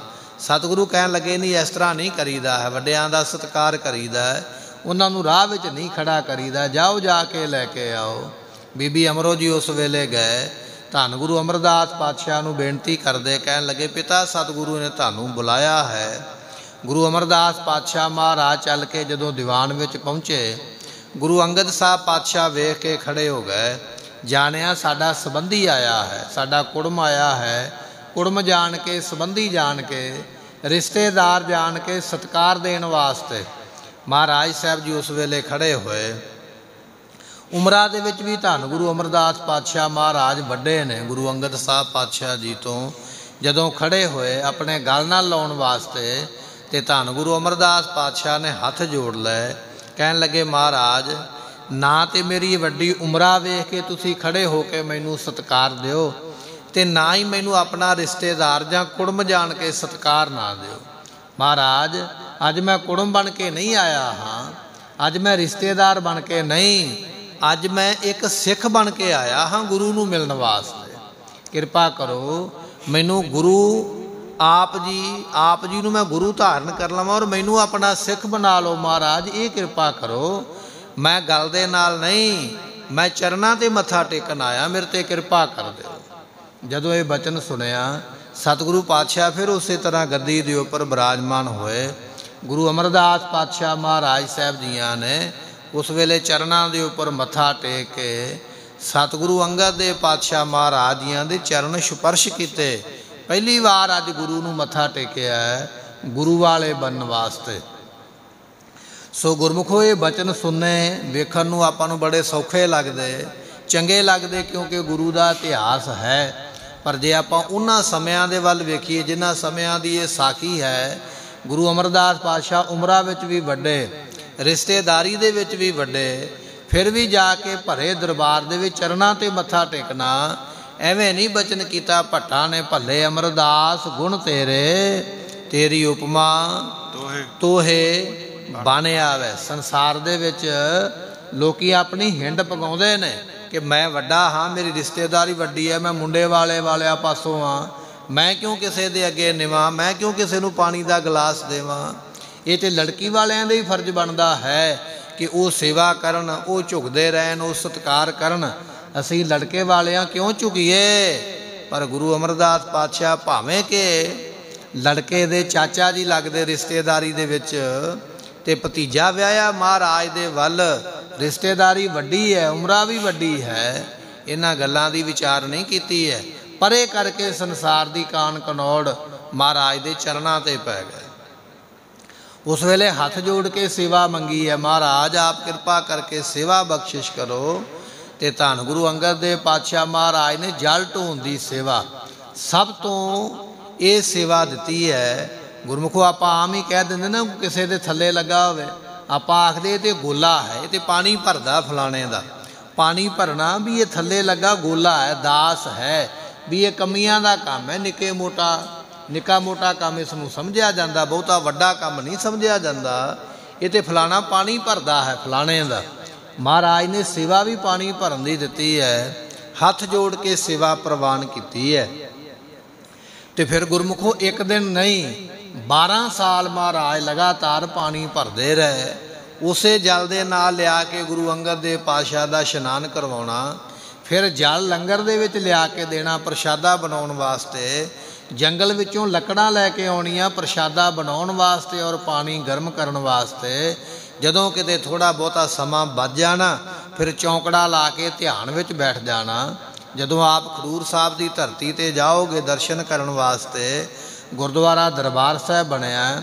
ਉਹਦੇ ਨਾਲ ਹੀ ਗੁਰਦੁਆਰਾ ਥੜਾ ਸਾਹਿਬ ਵੀ ਬਣਿਆ ਹੋਇਆ। ਹੈ ਉਥੇ ਇਤਿਹਾਸਕ ਬਚਨ ਲਿਖੇ ਹੋਏ ਕਿ ਸੇਵਾ ਤੋਂ ਜਦੋਂ ਕੁਝ ਸਮਾਂ ਮਿਲਦਾ ਸੀ ਗੁਰੂ ਅਮਰਦਾਸ ਪਾਤਸ਼ਾਹ ਨੂੰ ਉਦੋਂ ਇਸ ਜਗ੍ਹਾ ਤੇ ਬੈਠ ਕੇ ਮਹਾਰਾਜ ਚੌਂਕੜਾ ਲਾ ਕੇ ਪਰਮਾਤਮਾ ਦੇ ਸਿਮਰਨ ਵਿੱਚ ਉਸ ਵੇਲੇ ਲਿਵਲੀਨ ਹੋ ਜਾਇਆ ਕਰਦੇ ਤੇ ਮਹਾਰਾਜ ਸਾਹਿਬ ਜੀ ਇਸ ਤਰ੍ਹਾਂ ਸਮਾਂ ਬਤੀਤ ਕਰਦੇ ਰਹੇ। ਇਸ ਤਰ੍ਹਾਂ ਸੇਵਾ ਕਰਦਿਆਂ ਗੁਰਮਖੋ, ਮਹਾਰਾਜ ਸਾਹਿਬ ਜੀਆਂ ਨੂੰ 12 ਸਾਲ ਬਤੀਤ ਹੋ ਗਏ ਤੇ ਸਾਲ ਪਿੱਛੋਂ ਇੱਕੋ ਹੀ ਸਿਰੋ ਪਾਉ ਮਿਲਦਾ ਹੈ। ਅਸੀਂ ਸੰਸਾਰੀ ਲੋਕ ਆਣਾ ਕੋਈ ਕੰਮ ਕਰੀਏ, ਨਾਲ ਅਸੀਂ ਤਮੰਨਾ ਵੀ ਰੱਖਦੇ ਆ ਕਿ ਮੈਂ ਆ ਕੰਮ ਕੀਤਾ, ਹੁਣ ਮੇਰੀ ਸਪੀਕਰ ਦੇ ਵਿੱਚ ਮੇਰਾ ਨਾਮ ਲਿਆ ਜਾਵੇ, ਮੇਰੀ ਉਪਮਾ ਕੀਤੀ ਜਾਵੇ, ਮੈਨੂੰ ਕੁਝ ਨਾ ਕੁਝ ਮਿਲੇ, ਵੱਖਰਾ ਕੋਈ ਮੈਡਲ, ਕੋਈ ਵੱਖਰੀ ਵਸਤੂ ਮਿਲੇ, ਤਾਂ ਕਿ ਮੈਂ ਦੁਨੀਆ ਨੂੰ ਦੱਸਾਂ ਵੀ ਆਹ ਵੇਖੋ ਮੈਨੂੰ ਮਿਲਿਆ ਹੈ। ਗੁਰੂ ਅਮਰਦਾਸ ਪਾਤਸ਼ਾਹ ਮਹਾਰਾਜ ਜੀ ਅੰਮ੍ਰਿਤ ਵੇਲੇ ਜਲਦੀ ਗਾਗਰ ਖਡੂਰ ਸਾਹਿਬ ਲੈ ਆਉਂਦੇ ਤੇ 7-8 ਮੀਲ ਦਾ ਸਫ਼ਰ ਹੈ ਗੋਇੰਦਵਾਲ ਤੋਂ, ਵਾਹਿਗੁਰੂ ਜੀ ਖਡੂਰ ਸਾਹਿਬ ਤੋਂ ਬਿਆਸ ਦਰਿਆ ਦਾ। ਜਾਣਾ ਵੀ ਹੈ, ਗਾਗਰ ਭਰਨੀ ਵੀ ਹੈ, ਫਿਰ ਚੱਕਣੀ ਵੀ ਹੈ ਤੇ ਫਿਰ ਵਾਪਸ ਵੀ ਆਉਣਾ ਹੈ। ਪਰ ਅੰਮ੍ਰਿਤ ਵੇਲੇ ਤੱਕ ਜਲ ਭਰ ਕੇ ਲੈ ਆਉਂਦੇ। ਹੁਣ ਕਦੇ ਆਪਾਂ ਮਨ ਵਿੱਚ ਖਿਆਲ ਕਰੀਏ ਕਿ ਪੋ ਮਾਗ ਦੇ ਠੰਡੇ ਦਿਨ ਹੋਣ ਤੇ ਉਮਰ ਹੋਵੇ 70 75 ਸਾਲ ਦੇ ਲਾਗੇ ਬੰਨੇ ਤੇ ਉਸ ਵੇਲੇ ਜਲਦੀ ਗਾਗਰ ਭਰ ਕੇ ਮੋਢੇ ਤੇ ਚੁੱਕਣੀ ਤੇ ਉਹ ਕਦੇ ਕਦੇ ਛੁਲਕਾ ਵੀ ਵੱਜ ਜਾਣਾ, ਕੱਪੜਿਆਂ ਤੇ ਵੀ ਪੈ ਜਾਣਾ ਜਲ, ਕੱਪੜੇ ਭਿੱਜ ਜਾਣੇ ਐਡੀ ਵੱਡੀ ਉਮਰਾਂ ਦੇ ਵਿੱਚ ਵੀ ਪਰਵਾਹ ਨਹੀਂ ਕੀਤੀ, ਨਾ ਠੰਡ ਦੀ, ਨਾ ਸਮੇਂ ਦੀ, ਅਤੇ ਲਗਾਤਾਰ ਨਿਰੰਤਰ ਸੇਵਾ ਕਰਦੇ ਰਹੇ। ਕਈਆਂ ਵਿਦਵਾਨਾਂ ਨੇ ਇਹ ਵੀ ਬਚਨ ਲਿਖਿਆ ਕਿ ਰੋਜ਼ ਇੱਕ ਦਿਨ ਤੇ ਕੋਈ ਮੰਨ ਲਓ ਗਾਗਰ ਭਰ ਕੇ ਚੁਕਾ ਦੇਵੇਗਾ, ਸਤਗੁਰਾਂ ਨੂੰ ਦੋ ਦਿਨ ਚੁਕਾ ਦੇਵੇਗਾ, ਹੁਣ ਰੋਜ਼ ਕਿਹੜਾ ਜਾ ਕੇ ਅੱਧੀ ਰਾਤ ਗਾਗਰ ਭਰ ਕੇ ਚੱਕ ਕੇ ਤੇ ਮੋਢੇ ਦੇ ਉੱਪਰ ਰੱਖੇ? ਮਹਾਰਾਜ ਨੇ ਫਿਰ ਨਵਾਂ ਤਰੀਕਾ ਲੱਭਿਆ। ਗਾਗਰ ਆਪਣੇ ਮੋਢੇ ਤੇ ਰੱਖ ਕੇ ਮਹਾਰਾਜ ਉਸੇ ਤਰ੍ਹਾਂ ਪਾਣੀ ਵਿੱਚ ਹੀ ਬੈਠ ਜਾਂਦੇ ਨਾਲ ਹੀ ਆਪਣਾ ਇਸ਼ਨਾਨ ਹੋ ਜਾਂਦਾ, ਸਮੇਤ ਵਸਤਰਾਂ ਦੇ ਨਾਲ ਹੀ ਗਾਗਰ ਭਰ ਜਾਂਦੀ, ਫਿਰ ਉਸੇ ਤਰ੍ਹਾਂ ਭਰੀ ਭਰਾਈ ਗਾਗਰ ਮੋਢੇ ਤੇ ਰੱਖੀ ਹੋਈ, ਉਸੇ ਤਰ੍ਹਾਂ ਹੀ ਚੁੱਕੇ ਫਿਰ ਖੜੇ ਹੋ ਜਾਂਦੇ। ਤੇ ਇਸ ਤਰ੍ਹਾਂ ਫਿਰ ਚੱਲ ਕੇ ਬਿਆਸ ਦਰਿਆ ਤੋਂ ਤੇ ਖਡੂਰ ਸਾਹਿਬ ਪਹੁੰਚਿਆ ਕਰਦੇ। ਬੜੀ ਵੱਡੀ ਸੇਵਾ ਹੈ, ਭਾਵੇਂ ਮੀਂਹ ਪੈਂਦਾ ਹੋਵੇ, ਹਨੇਰੀ ਚੱਲਦੀ ਪਈ ਹੈ, ਝੱਖੜ ਚੱਲਦਾ ਹੈ, ਭਾਵੇਂ ਪੋ ਮਾਗ ਦੀਆਂ ਠੱਡੀਆਂ ਰਾਤਾਂ ਨੇ ਕੱਪੜੇ ਬਸਤਰ ਭਿਜੇ ਹੋਏ, ਪਰ ਜਲ ਦੀ ਸੇਵਾ ਨਿਰੰਤਰ ਜਾਰੀ ਰਹਿੰਦੀ ਹੈ। ਫਿਰ ਇੱਕ ਦਿਨ ਦੀ ਸੇਵਾ ਨਹੀਂ ਹੈ 12 ਸਾਲ ਦੀ ਲਗਾਤਾਰ ਸੇਵਾ ਕਰਕੇ ਤੇ ਫਿਰ ਬਚਨ ਪ੍ਰਾਪਤ ਕੀਤਾ 12 ਹੀ ਸਿਰੋਂ ਪਾਉ ਮਿਲੇ। ਬਚਨ ਆ ਗਿਆ ਨਿਮਾਣਿਆਂ ਦੇ ਮਾਨ ਨਿਤਾਣਿਆਂ ਦੇ ਤਾਨ ਨਿਉਟਿਆਂ ਦੀ ਓਟ, ਨਿਆਸਰਿਆਂ ਦੇ ਆਸਰੇ, ਨਿਗਤਿਆਂ ਦੀ ਗਤ, ਨਿਪਤਿਆਂ ਦੀ ਪਤ, ਨਿਤਰਿਆਂ ਦੀ ਧਿਰ। ਇਹ 12 ਵਰ ਮਹਾਰਾਜ ਗੁਰੂ ਅੰਗਦ ਸਾਹਿਬ ਪਾਤਸ਼ਾਹ ਨੇ 12 ਸਿਰੋਂ ਪਾਓ ਬਖਸ਼ਿਸ਼ ਕਰਕੇ ਧੰਨ ਗੁਰੂ ਅਮਰਦਾਸ ਮਹਾਰਾਜ ਸਾਹਿਬ ਜੀ ਨੂੰ ਬਖਸ਼ੇ।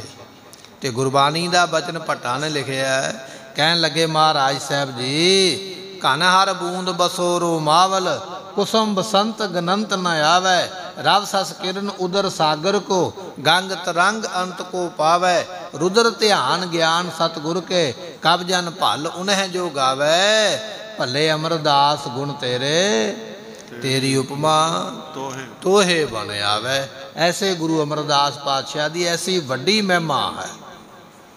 12 ਸਾਲ ਦੀ ਲੰਮੀ ਸੇਵਾ ਤੋਂ ਉਪਰੰਤ ਮਹਾਰਾਜ ਇਹਨੇ ਪ੍ਰਸੰਨ ਹੋਏ ਜਿੱਥੇ 12 ਵਰ ਬਖਸ਼ੇ ਉਥੇ ਨਾਲ ਹੀ ਗੁਰਤਾ ਗੱਦੀ ਬਖਸ਼ਿਸ਼ ਕਰਕੇ ਜਿਹੜੇ ਕੁਝ ਸਾਲ ਪਹਿਲਾਂ ਗੁਰੂ ਧਾਰਨ ਕਰਨ ਵਾਸਤੇ ਆਏ ਸਨ ਗੁਰੂ ਧਾਰਨ ਕਰਕੇ ਐਸੇ ਬਚਨ ਕਮਾਏ, ਐਸੀ ਸੇਵਾ ਕਮਾਈ ਹੈ। ਅੱਜ ਖੁਦ ਗੁਰੂ ਬਣ ਕੇ ਗੁਰਤਾ ਗੱਦੀ ਤੇ ਬੈਠੇ। ਸੰਗਤਾਂ ਨੂੰ ਉਪਦੇਸ਼ ਦੇਣ ਵਾਸਤੇ ਇਸ ਤਰ੍ਹਾਂ ਗੁਰੂ ਅਮਰਦਾਸ ਪਾਤਸ਼ਾਹ ਦੀ ਸ਼ਰਨ ਵਿੱਚ ਆ ਕੇ ਇਹ ਕਮਾਈ ਕੀਤੀ ਹੈ। ਇਹ ਸ਼ਬਦ ਬੀਬੀ ਅਮਰੋ ਜੀ ਪੜ੍ਹਦੇ ਸਨ। ਜਿਸ ਸ਼ਬਦ ਨੂੰ ਸੁਣ ਕੇ ਗੁਰੂ ਅਮਰਦਾਸ ਪਾਤਸ਼ਾਹ ਜੀ ਗੁਰੂ ਨੂੰ ਮਿਲਣ ਵਾਸਤੇ ਜਾਂ ਗੁਰੂ ਵਾਲੇ ਬਣਨ ਵਾਸਤੇ ਗੁਰੂ ਪਾਤਸ਼ਾਹ ਕੋਲ ਆਏ।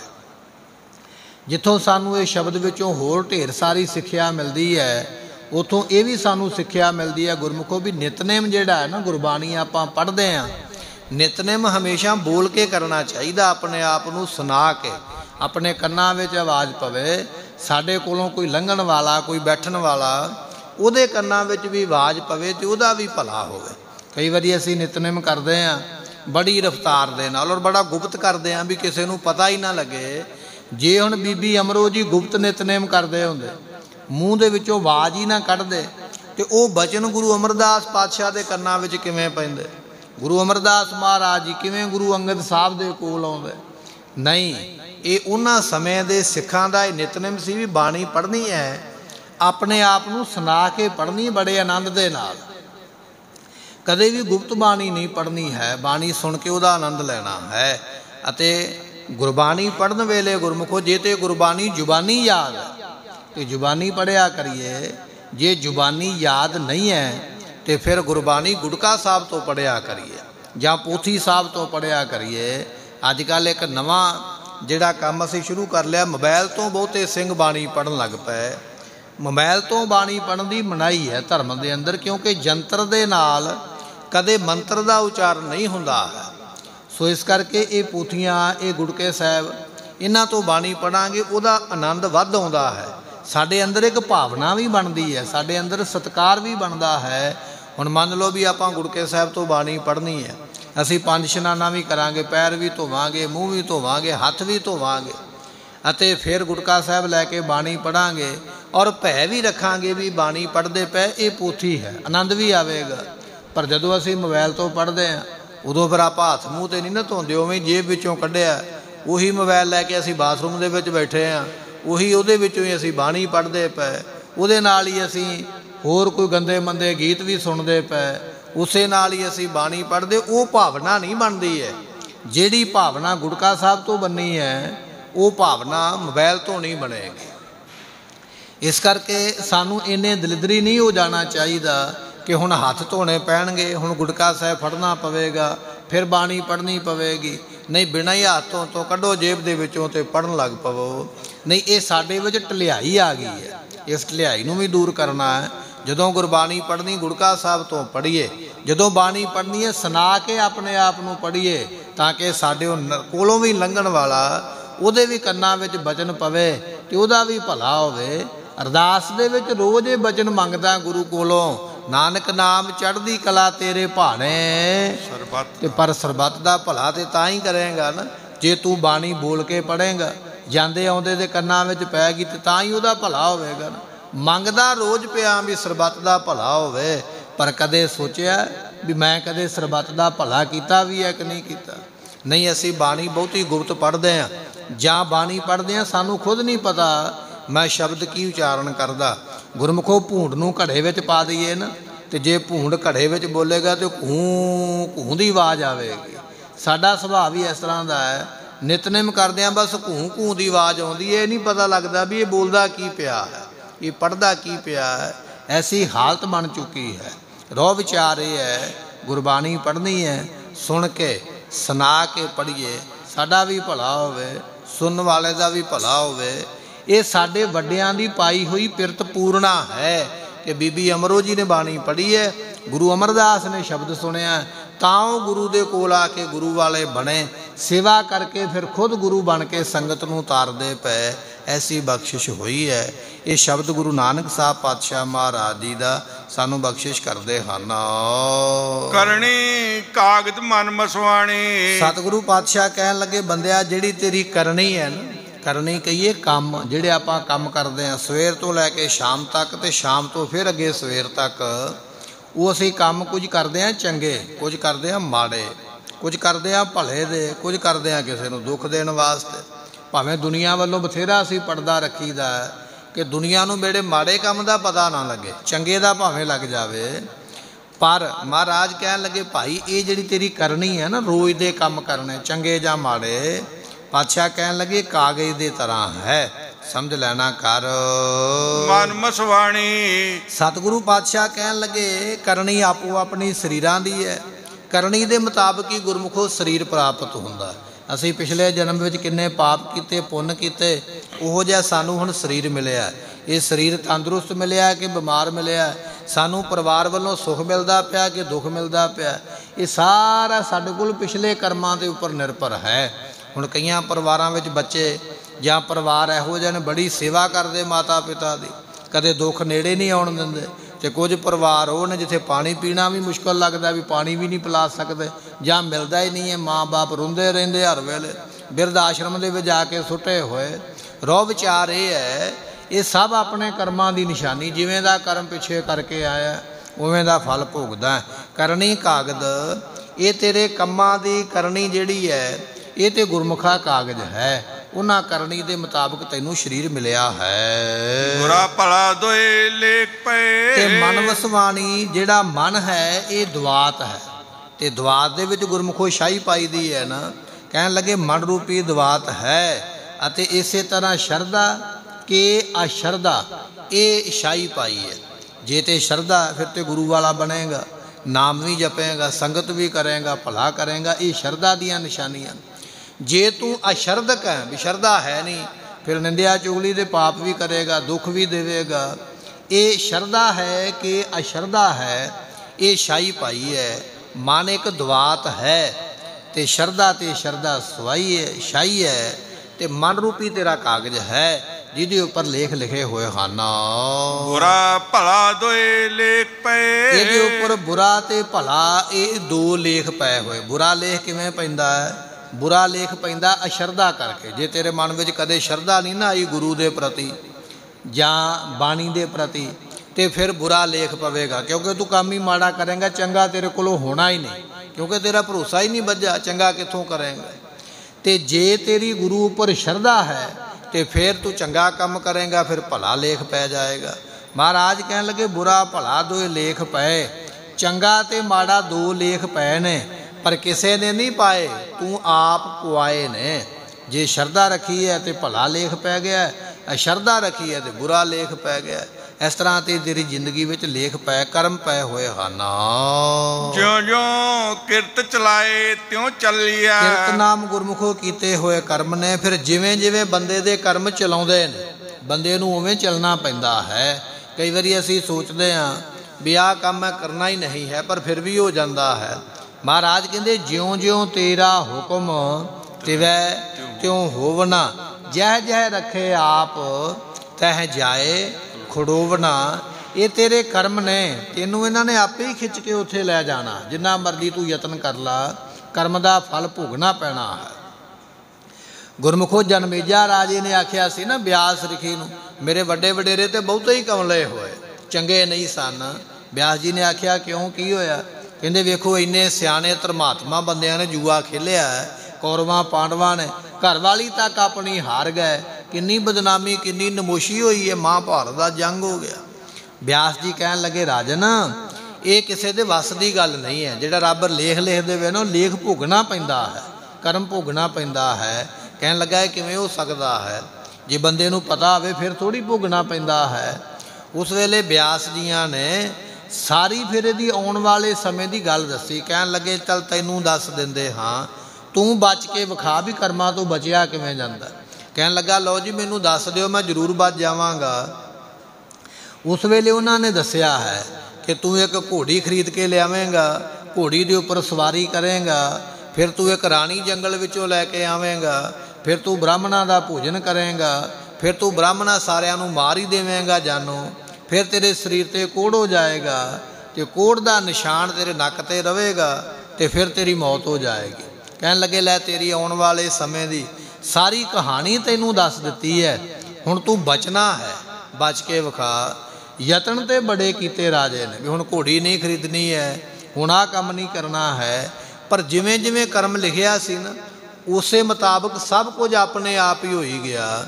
ਤੇ ਐਂਡ ਤੇ ਜਾ ਕੇ ਖੀਰ ਤੇ ਜਾ ਕੇ ਨੱਕ ਦੇ ਉੱਪਰ ਕੋੜ ਵੀ ਰਿਹਾ ਤੇ ਕੋੜ ਦੇ ਨਾਲ ਹੀ ਉਹਦੀ ਮੌਤ ਹੋਈ। ਬਚਨ ਇਹ ਹੈ, ਜਿਉਂ-ਜਿਉਂ ਕਿਰਤ ਚਲਾਏ ਜਿਵੇਂ ਜਿਵੇਂ ਕੀਤੇ ਤੇਰੇ ਕਰਮ ਨੇ, ਉਹ ਕਰਮ ਤੈਨੂੰ ਬੰਦਿਆ ਉਵੇਂ ਉਵੇਂ ਚਲਾਉਂਦੇ ਨੇ, ਉਹਨਾਂ ਦੇ ਮੁਤਾਬਕ ਚੱਲਣਾ ਪੈਂਦਾ ਹੈ। ਬਾਣੀ ਦਾ ਬਚਨ, ਜਿਉਂ-ਜਿਉਂ ਤੇਰਾ ਹੁਕਮ ਤਿਵੈ, ਤਿਉ ਹੋਵਨਾ ਜੈ ਜੈ ਰਖੇ ਆਪ, ਤਹਿ ਜਾਏ ਖੜੂਵਨਾ ਇਹ ਕਰਮ ਜਿੱਥੇ ਬੰਦੇ ਨੂੰ ਲੈ ਕੇ ਜਾਂਦੇ, ਉਥੇ ਜਾਣਾ ਪੈਂਦਾ ਹੈ। ਮਹਾਰਾਜ ਫਰਮਾਉਂਦੇ ਹਨ। ਜਿਉ ਜਿਉ ਕਿਰਤ ਚਲਾਏ ਤਿਉ ਚੱਲੀਆ ਅੱਛਾ ਕਹਿਣ ਲੱਗੇ ਜਿਵੇਂ ਜਿਵੇਂ ਤੇਰੇ ਕਿਰਤ ਕਮਾਏ ਹੋਏ ਕਰਮ ਤੈਨੂੰ ਚਲਾਉਂਦੇ ਨੇ ਉਹਨਾਂ ਕਰਮਾਂ ਦੇ ਮੁਤਾਬਕ ਚੱਲਣਾ ਪੈਂਦਾ ਦੁੱਖ ਵੀ ਮਿਲਦਾ ਸੁੱਖ ਵੀ ਮਿਲਦਾ। ਹੁਣ ਗੁਰਮੁਖੋ ਆਪਾਂ ਜ਼ਿੰਦਗੀ ਵਿੱਚ ਇਹ ਵੇਖੀਏ ਕਿਹੜਾ ਬੰਦਾ ਚਾਹੁੰਦਾ ਮੈਂ ਬਿਮਾਰ ਹੋ ਜਾਵਾਂ ਕਿਹੜਾ ਚਾਹੁੰਦਾ ਮੈਂ ਦੁਖੀ ਹੋ ਜਾਵਾਂ ਕਿਹੜਾ ਚਾਹੁੰਦਾ ਹੈ ਕਿ ਮੈਨੂੰ ਇਧਰੋਂ ਕੋਈ ਘਾਟਾ ਪੈ ਜਾਵੇ। ਨਹੀਂ ਸਾਰੇ ਹੀ ਤੰਦਰੁਸਤ ਚਾਹੁੰਦੇ ਨੇ ਸਾਰੇ ਹੀ ਚਾਹੁੰਦੇ ਨੇ ਘਾਟਾ ਕੋਈ ਨਾ ਪਵੇ, ਮੁਨਾਫਾ ਹੀ ਹੋਵੇ। ਕੋਈ ਨਹੀਂ ਚਾਹੁੰਦਾ ਮੇਰੇ ਤੇ ਦੁੱਖ ਆਵੇ, ਪਰ ਕਦੇ ਜਾ ਕੇ ਹਸਪਤਾਲ ਦਾ ਗੇੜਾ ਕੱਢਿਓ, ਭਰੇ ਪਏ ਬੈੱਡ ਉਥੇ, ਮਰੀਜ਼ ਹੀ ਮਰੀਜ਼ ਇਕੱਠੇ ਕੀਤੇ ਪਏ। ਉਹਨਾਂ ਨੇ ਬਿਮਾਰੀ ਮੰਗੀ ਥੋੜੀ ਹੈ, ਆਈ ਹੈ, ਕਿਉਂ ਆਈ ਹੈ? ਕਰਮਾਂ ਦੇ ਮੁਤਾਬਕ ਪਾਤਸ਼ਾਹ ਕਹਿਣ ਲੱਗੇ, ਬਚਨ ਇਹ ਆ ਭਾਈ, ਜਿਵੇਂ ਦੇ ਬੰਦਾ ਕਰਮ ਕਰਦਾ ਉਹ ਬਿਨਾ ਹੀ ਮੰਗਣ ਤੋਂ ਉਹੋ ਜਿਹਾ ਦੁੱਖ ਤੇ ਸੁਖ ਮਿਲਦਾ ਹੈ। ਤੋ ਗੁਣ ਨਹੀਂ ਅੰਤ ਹਰੇ। ਹੈ ਪ੍ਰਮਾਤਮਾ ਤੇਰੇ ਗੁਣਾਂ ਦਾ ਕੋਈ ਅੰਤ ਨਹੀਂ ਪਾ ਸਕਦਾ ਹੈ। ਦੁਨੀਆ ਦੇ ਵਿੱਚ ਜੇ ਕੋਈ ਬੰਦਾ ਆਖੇ ਵੀ ਪ੍ਰਮਾਤਮਾ ਦਾ ਗੁਣਾਂ ਦਾ ਅੰਤ ਪਾ ਲਈਏ ਨਹੀਂ ਪਾਇਆ ਨਹੀਂ ਜਾਂਦਾ ਹੈ। ਚਿੱਤ ਚੇਤਸ ਕੀ ਨਹੀਂ ਬਾਵਰਿਆ। ਬਾਵਰਾ ਕਹਿੰਦੇ ਝੱਲੇ ਨੂੰ ਜਿਹਨੂੰ ਆਪਾਂ ਕਹਿੰਦੇ ਇਹ ਤੇ ਕਮਲਾ ਹੈ। ਪੰਜਾਬੀ ਵਿੱਚ ਕਹਿ ਦਿੱਤਾ ਕਮਲਾ ਇਹਨੂੰ ਤੇ ਪਤਾ ਹੀ ਕੋਈ ਨਹੀਂ ਹੈ। ਕੋਈ ਆਖ ਦਿੰਦਾ ਇਹ ਬਾਵਰਾ ਹੈ ਕੋਈ ਕਹਿ ਦਿੰਦਾ ਇਹ ਝੱਲਾ ਹੈ। ਸੋ ਇਹਦਾ ਭਾਵ ਇੱਕੋ ਹੀ ਹੈ, ਵੱਖਰੀ ਵੱਖਰੀ ਭਾਸ਼ਾ ਦਾ ਸ਼ਬਦ ਵੱਖਰਾ ਵੱਖਰਾ ਬਦਲ ਜਾਂਦਾ ਹੈ। ਮਹਾਰਾਜ ਕਹਿਣ ਲੱਗੇ, ਚਿਤ ਚੇਤਸ ਕੀ ਨਾ? ਬਾਵਰਿਆ ਬਾਵਰਿਆ ਝੱਲਿਆ, ਰੱਬ ਨੂੰ ਕਿਉਂ ਨਹੀਂ ਚੇਤੇ ਕਰਦਾ? ਉਹ ਮੂਰਖਾ, ਮਸਤਾਨਿਆ, ਪਰਮਾਤਮਾ ਨੂੰ ਚੇਤੇ ਕਿਉਂ ਨਹੀਂ ਕਰਦਾ? ਕਿਉਂ ਤੂੰ ਉਸ ਨੂੰ ਭੁਲਾਇਆ ਹੋਇਆ ਹੈ? ਹਰ ਬਿਸਰਤ ਤੇਰੇ ਗੁਣ ਗਲਿਆ। ਹਰੀ ਪ੍ਰਮਾਤਮਾ ਦੇ ਬਿਸਰਤ ਕਈਏ ਭੁੱਲ ਜਾਣ ਕਰਕੇ। ਇਸ ਵੇਲੇ ਤੇ ਆਪਾਂ ਰੱਬ ਨੂੰ ਭੁਲਾਈ ਬੈਠੇ ਆ ਨਾ ਕਿ ਰੱਬ ਕੌਣ ਹੈ? ਮੈਨੂੰ ਤੇ ਚੇਤੇ ਹੀ ਨਹੀਂ ਕਦੇ ਆਇਆ ਹੈ। ਪਾਤਸ਼ਾਹ ਕਹਿਣ ਲੱਗੇ ਹਰ ਬਿਸਰਤ ਰੱਬ ਨੂੰ ਭੁਲਾਉਣ ਦੇ ਨਾਲ ਤੇਰੇ ਗੁਣ ਗਲਿਆ। ਤੇਰੇ ਸਾਰੇ ਸ਼ੁਭ ਗੁਣ ਗਲ ਜਾਣਗੇ। ਤੇਰੇ ਜਿਹੜੇ ਚੰਗੇ ਕੋਈ ਗੁਣ ਹੈ ਨਾ ਸਤ ਸੰਤੋਖ ਦਇਆ ਧਰਮ ਥੋੜਾ ਬਹੁਤਾ ਕਿਤੇ ਹੈ, ਜੇ ਰੱਬ ਦੇ ਨਾਮ ਨੂੰ ਯਾਦ ਨਹੀਂ ਕਰੇਗਾ, ਉਹ ਵੀ ਤੇਰੇ ਚੰਗੇ ਗੁਣ ਗਲ ਜਾਣਗੇ, ਖਤਮ ਹੋ ਜਾਣਗੇ। ਆਪਾਂ ਆਮ ਹੀ ਕਈ ਵਾਰੀ ਕਹਿ ਦਿੰਦੇ ਨਾ, ਇਹ ਬੰਦਾ ਪਹਿਲਾਂ ਦੇ ਬੜਾ ਚੰਗਾ ਹੁੰਦਾ ਸੀ, ਬੜਾ ਇਹ ਧਰਮੀ ਬੰਦਾ ਸੀ, ਬੜਾ ਪੁੰਨ ਕਰਦਾ ਸੀ, ਬੜੇ ਭਲੇ ਵਾਲੇ ਕੰਮ ਕਰਦਾ ਸੀ। ਹੁਣ ਇਹ ਬੜਾ ਬਦਲ ਗਿਆ ਹੈ, ਹੁਣ ਬੜੇ ਪਾਪ ਕਰਮ ਕਰਦਾ। ਮਹਾਰਾਜ ਕਹਿਣ ਲੱਗੇ, ਕਿਉਂਕਿ ਉਸ ਨੂੰ ਰੱਬ ਭੁੱਲਿਆ ਹੈ, ਰੱਬ ਭੁੱਲਣ ਕਰਕੇ ਉਹ ਜਿਹੜੇ ਚੰਗੇ ਗੁਣ ਸਨ, ਉਹ ਵੀ ਗਲ ਗਏ, ਖਤਮ ਹੀ ਹੋ ਗਏ, ਰਹਿ ਹੀ ਕੋਈ ਨਹੀਂ। ਹੁਣ ਪਾਪ ਕਰਮਾਂ ਨੂੰ ਸ਼ੁਰੂ ਕਰ ਦਿੱਤਾ ਹੈ ਇਸੇ ਪੰਕਤੀ ਨੂੰ ਫਰਮਾਉਂਦੇ ਹਨ। ਹਰ ਬਿਸਰਤ ਤੇਰਾ ਗੁਣ ਗਲਿਆ। ਮਹਾਰਾਜ ਕਹਿਣ ਲੱਗੇ ਬਿਸ਼ ਨਾਮ ਹੈ ਵਿਸ਼ਿਆਂ ਦਾ ਤੇ ਰਤ ਨਾਮ ਹੈ ਪ੍ਰੇਮ ਦਾ। ਕਹਿਣ ਲੈ ਜੇ ਵਿਸ਼ਿਆਂ ਦੇ ਵਿੱਚ ਪ੍ਰੇਮ ਕਰੇਗਾ ਦੂਜਾ ਅਰਥ ਇਸੇ ਪੰਕਤੀ ਦਾ ਆਪਾਂ ਫਿਰ ਸਰਵਨ ਕਰ ਲਈਏ ਤਾਂ ਕਿ ਹੋਰ ਵੀ ਆਨੰਦ ਬਣੇ ਗੁਰਬਾਣੀ ਨੂੰ ਸਰਵਨ ਕਰਨ ਦਾ। ਪਾਤਸ਼ਾਹ ਕਹਿਣ ਲੱਗੇ ਬਿਸ਼ ਨਾਮ ਹੈ ਗੁਰਮੁਖੋ ਵਿਸ਼ੇ ਵਿਕਾਰਾਂ ਦਾ ਤੇ ਰਤ ਨਾਮ ਹੈ ਪ੍ਰੀਤੀ ਦਾ। ਵਿਸ਼ੇ ਵਿਕਾਰਾਂ ਵਿੱਚ ਪ੍ਰੀਤੀ ਕਰਨ ਵਾਲਿਆ, ਪ੍ਰੇਮ ਕਰਨ ਵਾਲਿਆ ਬੰਦਿਆ, ਤੇਰੇ ਗੁਣ ਗਲਿਆ। ਪਾਤਸ਼ਾਹ ਕਹਿਣ ਲੱਗੇ ਕਿ ਤੇਰੇ ਗਲ ਦੇ ਵਿੱਚ ਚਾਰੋਂ ਤਰਫੋਂ ਆ ਕੇ ਗੁਣ ਕਹੀਏ ਰੱਸੀ ਰੱਸੀ ਭਾਵ ਫਾਈ ਜਿਹਨੂੰ ਆਪਾਂ ਕਹਿ ਦਿੰਨੇ ਹਾਂ। ਪਰਮਾਤਮਾ ਨੂੰ ਭੁਲਾ ਕੇ ਵਿਸ਼ੇ ਵਿਕਾਰਾਂ ਵਿੱਚ ਫਸੇ ਹੋਏ ਬੰਦਿਆ, ਤੇਰੇ ਗਲ ਦੇ ਵਿੱਚ ਫਾਈ ਪੈਣੀ ਆ ਕੇ। ਕਿਹੜੀ ਫਾਈ ਪੈਣੀ ਹੈ? ਇਹ ਫਾਈ ਪਵੇਗੀ ਰੋਗਾਂ ਦੀ, ਇਹ ਫਾਈ ਪਵੇਗੀ ਬਿਪਤਾ ਦੀ, ਫਾਈ ਪਵੇਗੀ ਦੁੱਖਾਂ ਦੀ। ਜੇ ਇਹਨਾਂ ਫਾਈਆਂ ਤੋਂ ਅੱਗੇ ਤੁਰੇਗਾ, ਫਿਰ ਜਮਾ ਦੀ ਫਾਈ ਗਲ ਵਿੱਚ ਆ ਕੇ ਪਵੇਗੀ। ਐਸੀ ਤੇਰੀ ਹਾਲਤ ਬਣੇਗੀ। ਹਰ ਬਿਸਰਤ ਤੇਰੇ ਗੁਣ ਗਲਿਆ। ਹਰੀ ਪ੍ਰਮਾਤਮਾ ਨੂੰ ਭੁਲਾ ਕੇ ਬਿਸ ਨਾਮ ਹੈ ਵਿਸ਼ਿਆਂ ਦਾ, ਰਤ ਨਾਮ ਪ੍ਰੀਤੀ ਦਾ। ਬਿਸਰਤ ਵਿਸ਼ਿਆਂ ਦੇ ਵਿੱਚ ਪ੍ਰੀਤੀ ਕਰੇਗਾ, ਗੁਣ ਗਲਿਆ। ਤੇਰੇ ਸ਼ੁਭ ਗੁਣ ਤੇ ਖਤਮ ਹੋ ਜਾਣਗੇ। ਤੇ ਗੁਣ ਕਹੀਏ ਰੱਸੀ ਫਾਈ ਤੇਰੀ ਗਲ ਵਿੱਚ ਆ ਕੇ ਪਵੇਗੀ ਐਸੀ ਤੇਰੀ ਹਾਲਤ ਬੰਨੀ ਹੈ। ਰਹਾਉ ਜਾਲੀ ਰਹਿਣ ਜਾਲ ਦਿਨ ਹੁਆ। ਮਹਾਰਾਜ ਕਹਿਣ ਲੱਗੇ ਜਾਲੀ ਰਹਿਣ ਰਾਤ ਸਾਰੀ ਵੀ ਸੜ ਗਈ। ਕਿਉਂ? ਰਾਤ ਨੂੰ ਕਿਹੜਾ ਆਪਾਂ ਨਾਮ ਜਪਦੇ ਮਹਾਰਾਜ ਕਹਿੰਦੇ ਰੈਣ ਗਵਾਈ ਸੋਏ ਸੋਏ ਕੈ ਰਾਤ ਨੂੰ 9-10 ਵੱਜ ਜਾਣ ਕਿਸੇ ਨੂੰ ਫੋਨ ਕਰਕੇ ਵੇਖ ਲਓ। ਉਹ ਕਹਿਣ ਲੱਗਾ ਹੁਣ ਮੇਰੇ ਸੌਣ ਦਾ ਟਾਈਮ ਹੋ ਗਿਆ ਹੈ। ਹੁਣ ਤੇ ਆਪਾਂ ਆਰਾਮ ਕਰਨ ਲੱਗੇ ਆ ਰਾਤ ਕਾਦੇ ਵਾਸਤੇ? ਸੌਣ ਵਾਸਤੇ। ਜੇ ਦਿਨ ਚੜ ਗਿਆ, ਫਿਰ ਕਿਸੇ ਨੂੰ ਪੁੱਛ ਲਓ, ਕਹਿਣ ਲੱਗਾ ਕੰਮ ਹੀ ਬੜੇ ਨੇ। ਮੈਂ ਤੇ ਵਿਅਸਤ ਹੀ ਬੜਾ, ਮੇਰੇ ਕੋਲ ਤੇ ਟਾਈਮ ਹੀ ਕੋਈ ਨਹੀਂ ਹੈ। ਮੈਂ ਤੇ ਸਿਰ ਖੁਰਕਣ ਦਾ ਟਾਈਮ ਨਹੀਂ ਕੱਢ ਸਕਦਾ। ਦਿਨ ਵੀ ਸਾਰਾ ਲੰਘ ਗਿਆ। ਪਾਤਸ਼ਾਹ ਕਹਿਣ ਲੱਗੇ, ਜਾਲੀ ਰਹਿਣ, ਨਾਮ ਸਿਮਰਨ ਤੋਂ ਬਿਨਾ ਰਾਤ ਵੀ ਸਾਰੀ ਲੰਘ ਗਈ ਹੈ। ਸੌਂ ਕੇ ਹੀ ਬਤੀਤ ਕਰ ਦਿੱਤੀ ਹੈ। ਰਾਤ ਵੀ ਸਾਰੀ ਸੜ ਗਈ, ਸਮਾਂ ਵੀ ਸਾਰਾ ਸੜ ਗਿਆ। ਇਹ ਰਾਤ ਰੂਪੀ ਜਾਲੀ ਕਹੀਏ ਜਾਲੀ, ਤੇਰੇ ਗਲ ਵਿੱਚ ਜਾਲੀ ਪੈ ਗਈ ਜਾਲੀ ਵਿੱਚੋਂ ਲੰਘਣਾ ਬੜਾ ਔਖਾ ਹੈ। ਤੇ ਜਾਲ ਦਿਨ ਹੁਆ, ਸਾਰਾ ਦਿਨ ਚਾਰ ਗਵਾਇਆ ਹੰਡ ਕੈ ਚਾਰ ਗਵਾਇਆ ਸਮ। ਸਾਰਾ ਦਿਨ ਗਲੀਆਂ ਵਿੱਚ ਇੱਧਰ ਉੱਧਰ ਗੇੜੇ ਮਾਰਦਾ ਰਿਹਾ। ਹੁਣ ਬਾਜ਼ਾਰ ਜਾ ਆਵਾਂ, ਹੁਣ ਕਿਸੇ ਰਿਸ਼ਤੇਦਾਰ ਦੇ ਕੋਲ ਜਾ ਆਵਾਂ, ਹੁਣ ਇੱਧਰ ਜਾ ਕੇ ਆਵਾਂ, ਉੱਧਰ ਜਾ ਕੇ ਆਵਾਂ। ਗਲੀਆਂ ਵਿੱਚ ਹੀ ਆਪਾਂ ਗੇੜੇ ਕੱਢਦੇ ਨਾ, ਕਦੇ ਗੱਡੀ ਤੇ, ਕਦੇ ਮੋਟਰਸਾਈਕਲ ਤੇ। ਸਾਰਾ ਦਿਨ ਤੁਰਦਿਆਂ ਇਹ ਵੀ ਲੰਘ ਗਿਆ। ਮਹਾਰਾਜ ਕਹਿਣ ਲੱਗੇ, ਦਿਨ ਵੀ ਬਰਬਾਦ ਕਰ ਲਿਆ। ਇਹ ਦਿਨ ਹੋ ਗਿਆ ਜਾਲ, ਰਾਤ ਹੋ ਗਈ ਜਾਲੀ। ਹੁਣ ਗੁਰਮੁਖੋ, ਜਾਲ ਦੇ ਵਿੱਚ ਫਸਿਆ ਨਿਕਲਣਾ ਬੜਾ ਔਖਾ। ਤੇਂਦੂਏ ਵਰਗੇ ਵੱਡੇ ਵੱਡੇ ਖੂਨਖਾਨ ਜਿਹੜੇ ਜਾਨਵਰ ਨੇ, ਉਹਨਾਂ ਨੂੰ ਫੜਨ ਵਾਸਤੇ ਵੀ ਸ਼ਿਕਾਰੀ ਉਹਨਾਂ ਉੱਪਰ ਜਾਲ ਸੁੱਟ ਦਿੰਦੇ। ਤੇ ਐਸੇ ਖੂਨਖਾਰ ਜਾਨਵਰ ਤੋਂ ਜਾਲ ਵਿੱਚੋਂ ਨਿਕਲਿਆ ਨਹੀਂ ਜਾਂਦਾ, ਫਸ ਜਾਂਦਾ ਹੈ। ਪਾਤਸ਼ਾਹ ਕਹਿਣ ਲੱਗੇ, ਬੰਦਿਆ, ਦਿਨ ਸਾਰੇ ਕੋ ਹੀ ਕਰਦਾ ਰਿਹਾ, ਇਹ ਜਾਲ ਪੈ ਗਿਆ ਤੇਰੇ ਉੱਪਰ, ਕਿਵੇਂ ਨਿਕਲੇਗਾ ਇਹਦੇ ਵਿੱਚ? ਤੇ ਰਾਤ ਸਾਰੀ ਸੌਂ ਕੇ ਬਤੀਤ ਕਰ ਦਿੱਤੀ। ਇਹ ਜਾਲੀ ਪੈ ਗਈ ਤੇਰੇ ਉੱਪਰ ਫਿਰ ਉਹਦੇ ਵਿੱਚੋਂ ਕਿਵੇਂ ਨਿਕਲੇਗਾ? ਤੂੰ ਤੇ ਦੋਰੇ ਦੋਰੇ ਜਾਲਾਂ ਵਿੱਚ ਫਸ ਗਿਆ। ਪਾਤਸ਼ਾਹ ਕਹਿੰਦੇ ਐਸੀ ਹਾਲਤ ਹੋਈ ਹੈ। ਜੇਤੀ ਘੜੀ ਫਾਹੀ ਤੇਤੀ। ਜਿੰਨੀਆਂ ਘੜੀਆਂ ਬਤੀਤ ਹੋਈਆਂ 24 ਮਿੰਟਾਂ ਦੀ ਇੱਕ ਘੜੀ ਹੈ ਇੱਕ ਘੜੀ ਲੰਘ ਗਈ ਕੋਈ ਨਾ ਕੋਈ ਪਾਪ ਕੀਤਾ ਹੀ ਕੀਤਾ ਬੈਠ ਕੇ। ਉਹ ਗੱਲ ਵਿੱਚ ਫਾਈ ਪੈ ਗਈ। ਦੂਜੀ ਘੜੀ ਨੂੰ ਕੋਈ ਹੋਰ ਪਾਪ ਕਰ ਲਿਆ। ਇਧਰੋਂ ਨਿੰਦਿਆ ਕਰ ਲਈ ਚੁਗਲੀ ਕਰ ਲਈ ਦੁੱਖ ਦੇ ਰਿਹਾ। ਕਿਸੇ ਨੂੰ ਵਿਪਤਾ ਪਾ ਦਿੱਤੀ, ਕਿਸੇ ਦੀ ਰੋਜੀ ਰੋਟੀ ਖੋ ਲਈ। ਪਾਤਸ਼ਾਹ ਕਹਿੰਦੇ, ਹਰੇਕ ਘੜੀ ਵਿੱਚ ਪਾਪ ਕਰਦਾ ਪਿਆ। ਜਿੰਨੀਆਂ ਘੜੀਆਂ ਉਨਾ ਹੀ ਪਾਪ ਕਰ ਲੈ। ਤੇ ਪਾਤਸ਼ਾਹ ਕਹਿਣ ਲੱਗੇ, ਫਾਹੀ ਤੇਤੀ, ਇਹ ਸਾਰੀਆਂ ਫਾਈਆਂ ਨੇ ਤੇਰੇ ਗਲ ਵਿੱਚ ਪੈ ਗਈਆਂ। ਤੇ ਫਾਈ ਤੇ ਇੱਕ ਹੀ ਗੱਲ ਨੂੰ ਪੈ ਜਾਵੇ ਨਾ, ਤੇ ਉਹ ਬੰਦੇ ਨੂੰ ਮਾਰ ਦਿੰਦੀ ਹੈ ਗਲ ਵਿੱਚੋਂ ਪਿਆ ਫਾਇਆ ਤੇ ਇੱਕ ਨਹੀਂ ਨਿਕਲਦਾ। ਤੂੰ ਤੇ ਹਰੇਕ ਘੜੀ ਵਿੱਚ ਪਾਪ ਕੀਤਾ ਹੈ। ਤੇ ਫਿਰ ਹਰੇਕ ਫਾਈ ਤੇਰੇ ਗਲ ਵਿੱਚ ਪਈ ਹੈ ਕਿੰਨਿਆਂ ਕੁ ਦੇ ਵਿੱਚੋਂ ਬਾਹਰ ਨਿਕਲੇਗਾ? ਐਸੀ ਹਾਲਤ ਬਣੀ ਹੈ ਜੇਤੀ ਘੜੀ ਫਾਹੀ ਤੇਤੀ ਜਿੰਨੀਆਂ ਕੋ ਘੜੀਆਂ ਉਹ ਸਾਰੀਆਂ ਫਾਈਆਂ ਹਨ ਜਿਨ੍ਹਾਂ ਵਿੱਚ ਤੂੰ ਵਿਸ਼ੇ ਵਿਕਾਰਾਂ ਦੀ ਚੋਗ ਚੁਗਦਾ ਹੈ। ਰਸ ਰਸ ਚੋਗ ਚੁਗੇ ਨਿਤ ਫਾਸਾ। ਮਹਾਰਾਜ ਕਹਿਣ ਲੱਗੇ ਰਸ ਰਸ ਬੜੇ ਪ੍ਰੇਮ ਦੇ ਨਾਲ ਫਿਰ ਵਿਸ਼ੇ ਵਿਕਾਰਾਂ ਦੀ ਚੋਗ ਨੂੰ ਚੁਗਦਾ ਹੈ। ਵਿਕਾਰ ਭੋਗਣ ਵਾਸਤੇ ਐ ਮਨ ਵੀ ਟਿਕ ਜਾਂਦਾ। ਤਨ ਵੀ ਟਿਕ ਜਾਂਦਾ ਹੈ।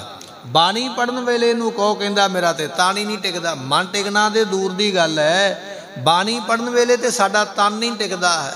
ਕਦੇ ਗੋਡਾ ਮੂੰਹ ਪੀੜ ਹੁੰਦਾ, ਕਦੇ ਮੋਢਾ ਪੀੜ ਹੁੰਦਾ ਕਦੇ ਵਿੰਗਾ ਹੋ ਗਿਆ, ਕਦੇ ਟੇਢਾ ਹੋ ਗਿਆ। ਕਥਾ ਵਿੱਚ ਬੈਠਣਾ ਹੋਵੇ ਤੇ ਉਹ ਵੀ ਨਹੀਂ ਬੈਠਿਆ ਜਾਂਦਾ। ਹਰ ਵੇਲੇ ਹਿਲਜੁਲ ਕਰਦਾ ਹੀ ਰਹਿੰਦਾ। ਸਾਡਾ ਤੇ ਸਰੀਰ ਨਹੀਂ ਕਦੇ ਟਿਕਿਆ।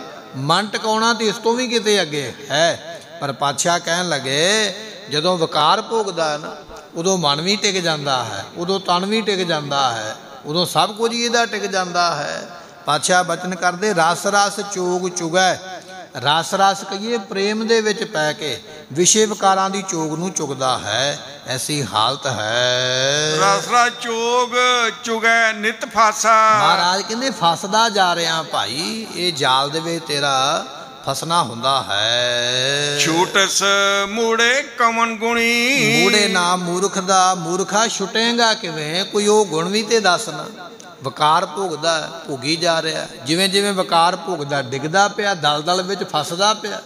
ਪਰ ਕਦੇ ਇਹ ਸੋਚਿਆ ਮੇਰੇ ਵਿੱਚ ਇਹੋ ਜਿਹਾ ਕਿਹੜਾ ਗੁਣ ਹੈ ਜਿਹਦੇ ਕਰਕੇ ਮੈਂ ਤਰਨਾ ਹੈ?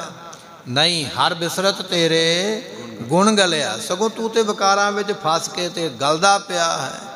ਕੋਈ ਇਹੋ ਜਿਹਾ ਗੁਣ ਕਦੇ ਆਪਣੇ ਅੰਦਰ ਝਾਤੀ ਮਾਰਿਆ ਕਰ, ਬੈਠ ਕੇ ਕਦੇ ਕੱਲਾ ਸੋਚਿਆ ਕਰ। ਜਦੋਂ ਬੈਠਦਾ ਨਾ, ਵੈਸੇ ਤੇ ਅਸੀਂ ਪਰਿਵਾਰ ਵਿੱਚ ਵੀ ਬੈਠੇ ਹੋਈਏ ਤੇ ਉਦੋਂ ਵੀ ਇਕੱਲੇ ਹੀ ਹੋਈਦਾ, ਕਿਉਂਕਿ ਹਰੇਕ ਨੇ ਹੱਥ ਵਿੱਚ ਮੋਬਾਈਲ ਫੜਿਆ ਹੁੰਦਾ। ਚਾਚਾ, ਤਾਇਆ, ਭੈਣ, ਭਰਾ, ਮਾਤਾ, ਪਿਤਾ, ਸਾਰੇ ਬੈਠੇ ਹੋਏ, ਕੋਈ ਕਿਸੇ ਨਾਲ ਗੱਲ ਨਹੀਂ ਕਰਦਾ। ਹੈ ਹਰੇਕ ਆਪਣੇ ਮੋਬਾਈਲ ਦੇ ਵਿੱਚੋਂ ਕੀੜੇ ਕੱਢਣ ਲੱਗਾ ਹੋਇਆ।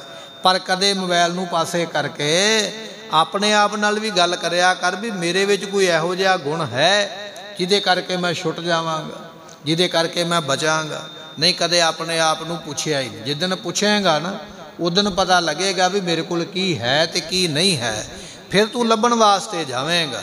ਪਰ ਗੁਰਮੁਖੋ ਕਲਯੁਗ ਦਾ ਸਮਾਂ ਜਿਵੇਂ ਜਿਵੇਂ ਅੱਗੇ ਆਉਂਦਾ ਉਵੇਂ ਉਵੇਂ ਅਸੀਂ ਹੋਰ ਫਸਦੇ ਜਾ ਰਹੇ ਵਿਸ਼ੇ ਵਿਕਾਰਾਂ ਦੇ ਵਿੱਚ ਐਸੀ ਹਾਲਤ ਬਣ ਗਈ ਹੈ। ਕਾਇਆ ਆਰੰ ਮਨ ਵਿੱਚ ਲੋਹਾ। ਅੱਛਾ ਕਹਿਣ ਲੱਗੇ ਕਾਇਆ ਜਿਹੜਾ ਸਰੀਰ ਹੈ ਨਾ ਗੁਰਮੁਖਾ ਇਹ ਸਰੀਰ ਤੇ ਤੇਰਾ ਇੱਕ ਭੱਠੀ ਹੈ। ਤੇ ਪਾਤਸ਼ਾਹ ਕਹਿਣ ਲੱਗੇ ਮਨ ਵਿੱਚ ਲੋਹਾ ਇਸ ਵਿੱਚ ਮਨ ਰੂਪੀ ਲੋਹਾ ਪ੍ਰਮਾਤਮਾ ਨੇ ਪਾਇਆ ਹੋਇਆ ਹੈ। ਪੰਚ ਅਗਨ ਤਿਤ ਲਾਗ ਤੇ ਰਹੀ ਪਾਤਸ਼ਾਹ ਕਹਿਣ ਲੱਗੇ ਮਨ ਰੂਪੀ ਲੋਹੇ ਨੂੰ ਪੰਜ ਵਿਕਾਰਾਂ ਦੀ ਅੱਗ ਲੱਗੀ ਹੋਈ ਹੈ।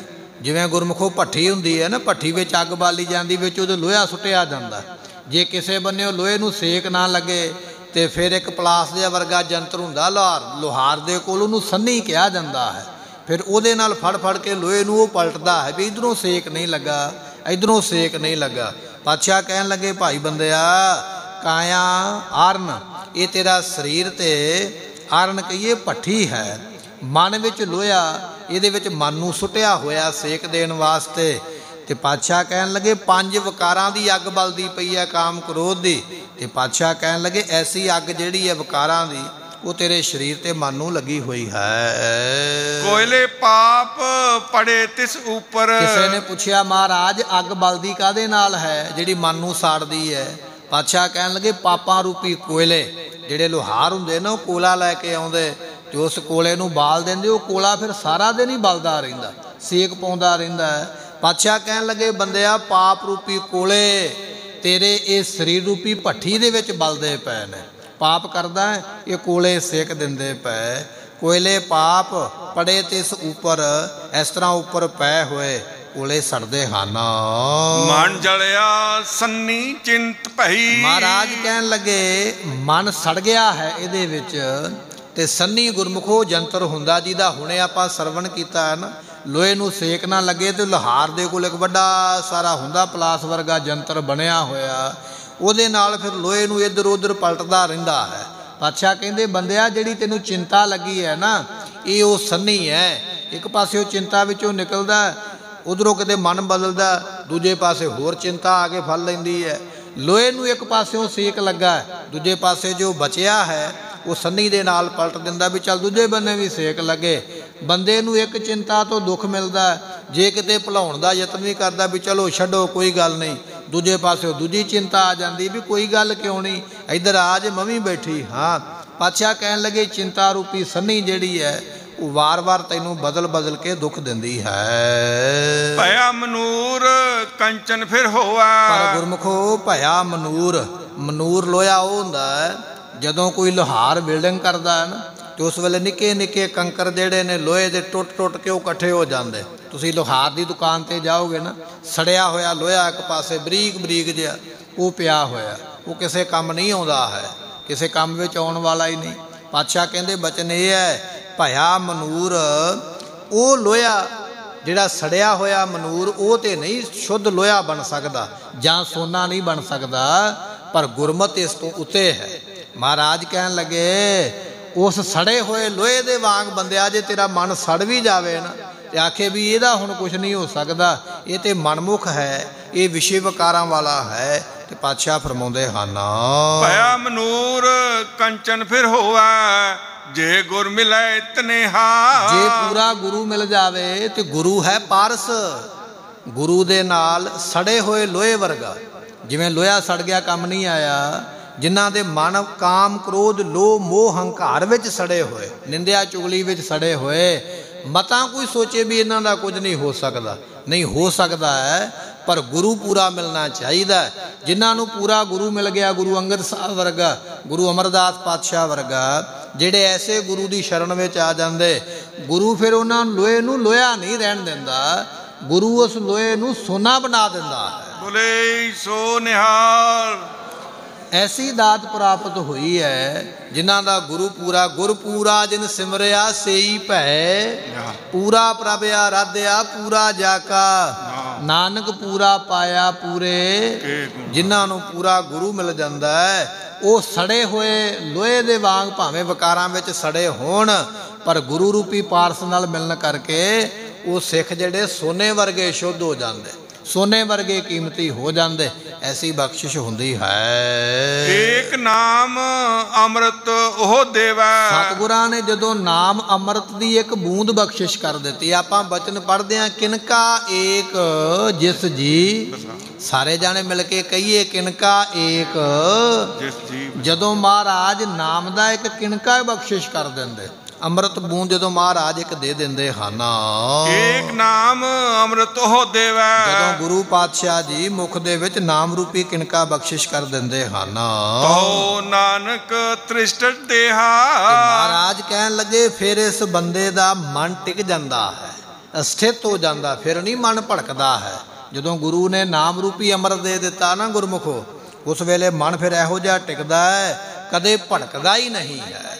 ਜਦੋਂ ਰਾਗੀ ਸਾਹਿਬਾਨ ਕੀਰਤਨ ਸ਼ੁਰੂ ਕਰਦੇ ਨੇ ਉਸ ਵੇਲੇ ਉਹ ਸਤਨਾਮ ਵਾਹਿਗੁਰੂ ਦਾ ਜਾਪ ਜਪਾਉਂਦੇ ਜਾਂ ਵਾਹਿਗੁਰੂ ਵਾਹਿਗੁਰੂ ਦਾ ਜਾਪ ਜਪਾਉਂਦੇ ਇਹ ਉਹ ਕਿਨਕਾ ਹੈ ਜਿਹਦੇ ਮਨ ਵਿੱਚ ਇਹ ਕਿਨਕਾ ਵਸ ਗਿਆ ਨਾ, ਉਹਦਾ ਫਿਰ ਮਹਾਰਾਜ ਕਹਿੰਦੇ ਪਾਰ ਉਤਾਰਾ ਹੋ ਜਾਂਦਾ ਹੈ। ਐਸੀ ਇਹ ਨਾਮ ਦੀ ਮਹਿਮਾ ਹੈ ਜੋ ਮਹਾਰਾਜ ਨੇ ਇਹ ਸ਼ਬਦ ਵਿੱਚ ਬਖਸ਼ਿਸ਼ ਕੀਤੀ ਹੈ। ਸਮੇਂ ਦੀ ਸਮਾਪਤੀ, ਭੁੱਲਾਂ ਦੀ ਮੁਆਫੀ। ਦਿਓ ਸੱਜਣ ਅਸੀਂ ਸੜੀਆਂ। ਸਾਹਿਬ ਸਿਓ ਮੇਲੋ। ਭਇਆ ਮਨੂਰ ਕੰਚਨ ਫਿਰ ਹੋਆ ਜੇ ਗੁਰ ਮਿਲੈ ਤਨੇਹਾ ਏਕ ਨਾਮ ਅੰਮ੍ਰਿਤ ਉਹ ਦੇਵੈ ਤੋ ਨਾਨਕ ਤ੍ਰਿਸ਼ਟ ਦੇਹਾ। ਵਾਹਿਗੁਰੂ ਜੀ ਕਾ ਖਾਲਸਾ। ਵਾਹਿਗੁਰੂ ਜੀ ਕੀ ਫਤਿਹ। ਸਤਿਗੁਰਾਂ ਦੀ ਸਾਜੀ ਨਵਾਜੀ ਗੁਰੂ ਕੀ ਸੰਗਤ। 16 ਤਰੀਕ ਨੂੰ ਗੁਰੂ ਗ੍ਰੰਥ ਸਾਹਿਬ ਪਾਤਸ਼ਾਹ ਜੀ ਦਾ ਪਹਿਲਾ ਪ੍ਰਕਾਸ਼ ਦਿਹਾੜਾ ਪ੍ਰਾਪਤ ਹੋ ਰਿਹਾ ਹੈ। 14 ਤਰੀਕ ਨੂੰ ਆਪਣੇ ਗੁਰਦੁਆਰਾ ਸਾਹਿਬ ਵਿਖੇ ਅਖੰਡ ਪਾਠ ਸਾਹਿਬ ਪ੍ਰਾਰੰਭ ਹੋਣਗੇ। ਮੁੱਖ ਦਰਬਾਰ ਦੇ ਵਿੱਚ 16 ਤਰੀਕ ਨੂੰ ਭੋਗ ਪਾਏ ਜਾਣਗੇ। ਕੀਰਤਨ ਕਥਾ ਦੇ ਦੀਵਾਨ ਦੋ ਦਿਨ ਬੰਦ ਰਹਿਣਗੇ। ਆਪ ਸੰਗਤਾਂ ਨੇ 14 15 ਤੇ 16 ਤਰੀਕ ਨੂੰ ਵੱਧ ਤੋਂ ਵੱਧ ਹਾਜ਼ਰੀਆਂ ਭਰ ਕੇ ਗੁਰਬਾਣੀ ਸਰਵਨ ਕਰਨੀ ਆਪ ਸੰਗਤਾਂ ਵਾਸਤੇ ਗੁਰੂ ਕੇ ਲੰਗਰ ਅਟੁੱਟ ਵਰਤਣਗੇ। ਦਰਬਾਰ ਸਾਹਿਬ ਤੋਂ ਜਥੇ ਆਪ ਸੰਗਤਾਂ ਨੂੰ ਕੀਰਤਨ ਸਰਵਨ ਕਰਵਾਉਣ ਵਾਸਤੇ ਪਹੁੰਚ ਰਹੇ ਨੇ, ਹਜੂਰੀ ਜਥੇ ਵੀ ਆਪ ਸੰਗਤਾਂ ਨੂੰ ਹਰ ਜਸ ਸਰਵਨ ਕਰਵਾਉਣਗੇ, ਇਹ ਬੇਨਤੀਆਂ ਪ੍ਰਵਾਨ ਕਰਨੀਆਂ। ਵਾਹਿਗੁਰੂ ਜੀ ਕਾ ਖਾਲਸਾ, ਵਾਹਿਗੁਰੂ ਜੀ ਕੀ ਫਤਿਹ।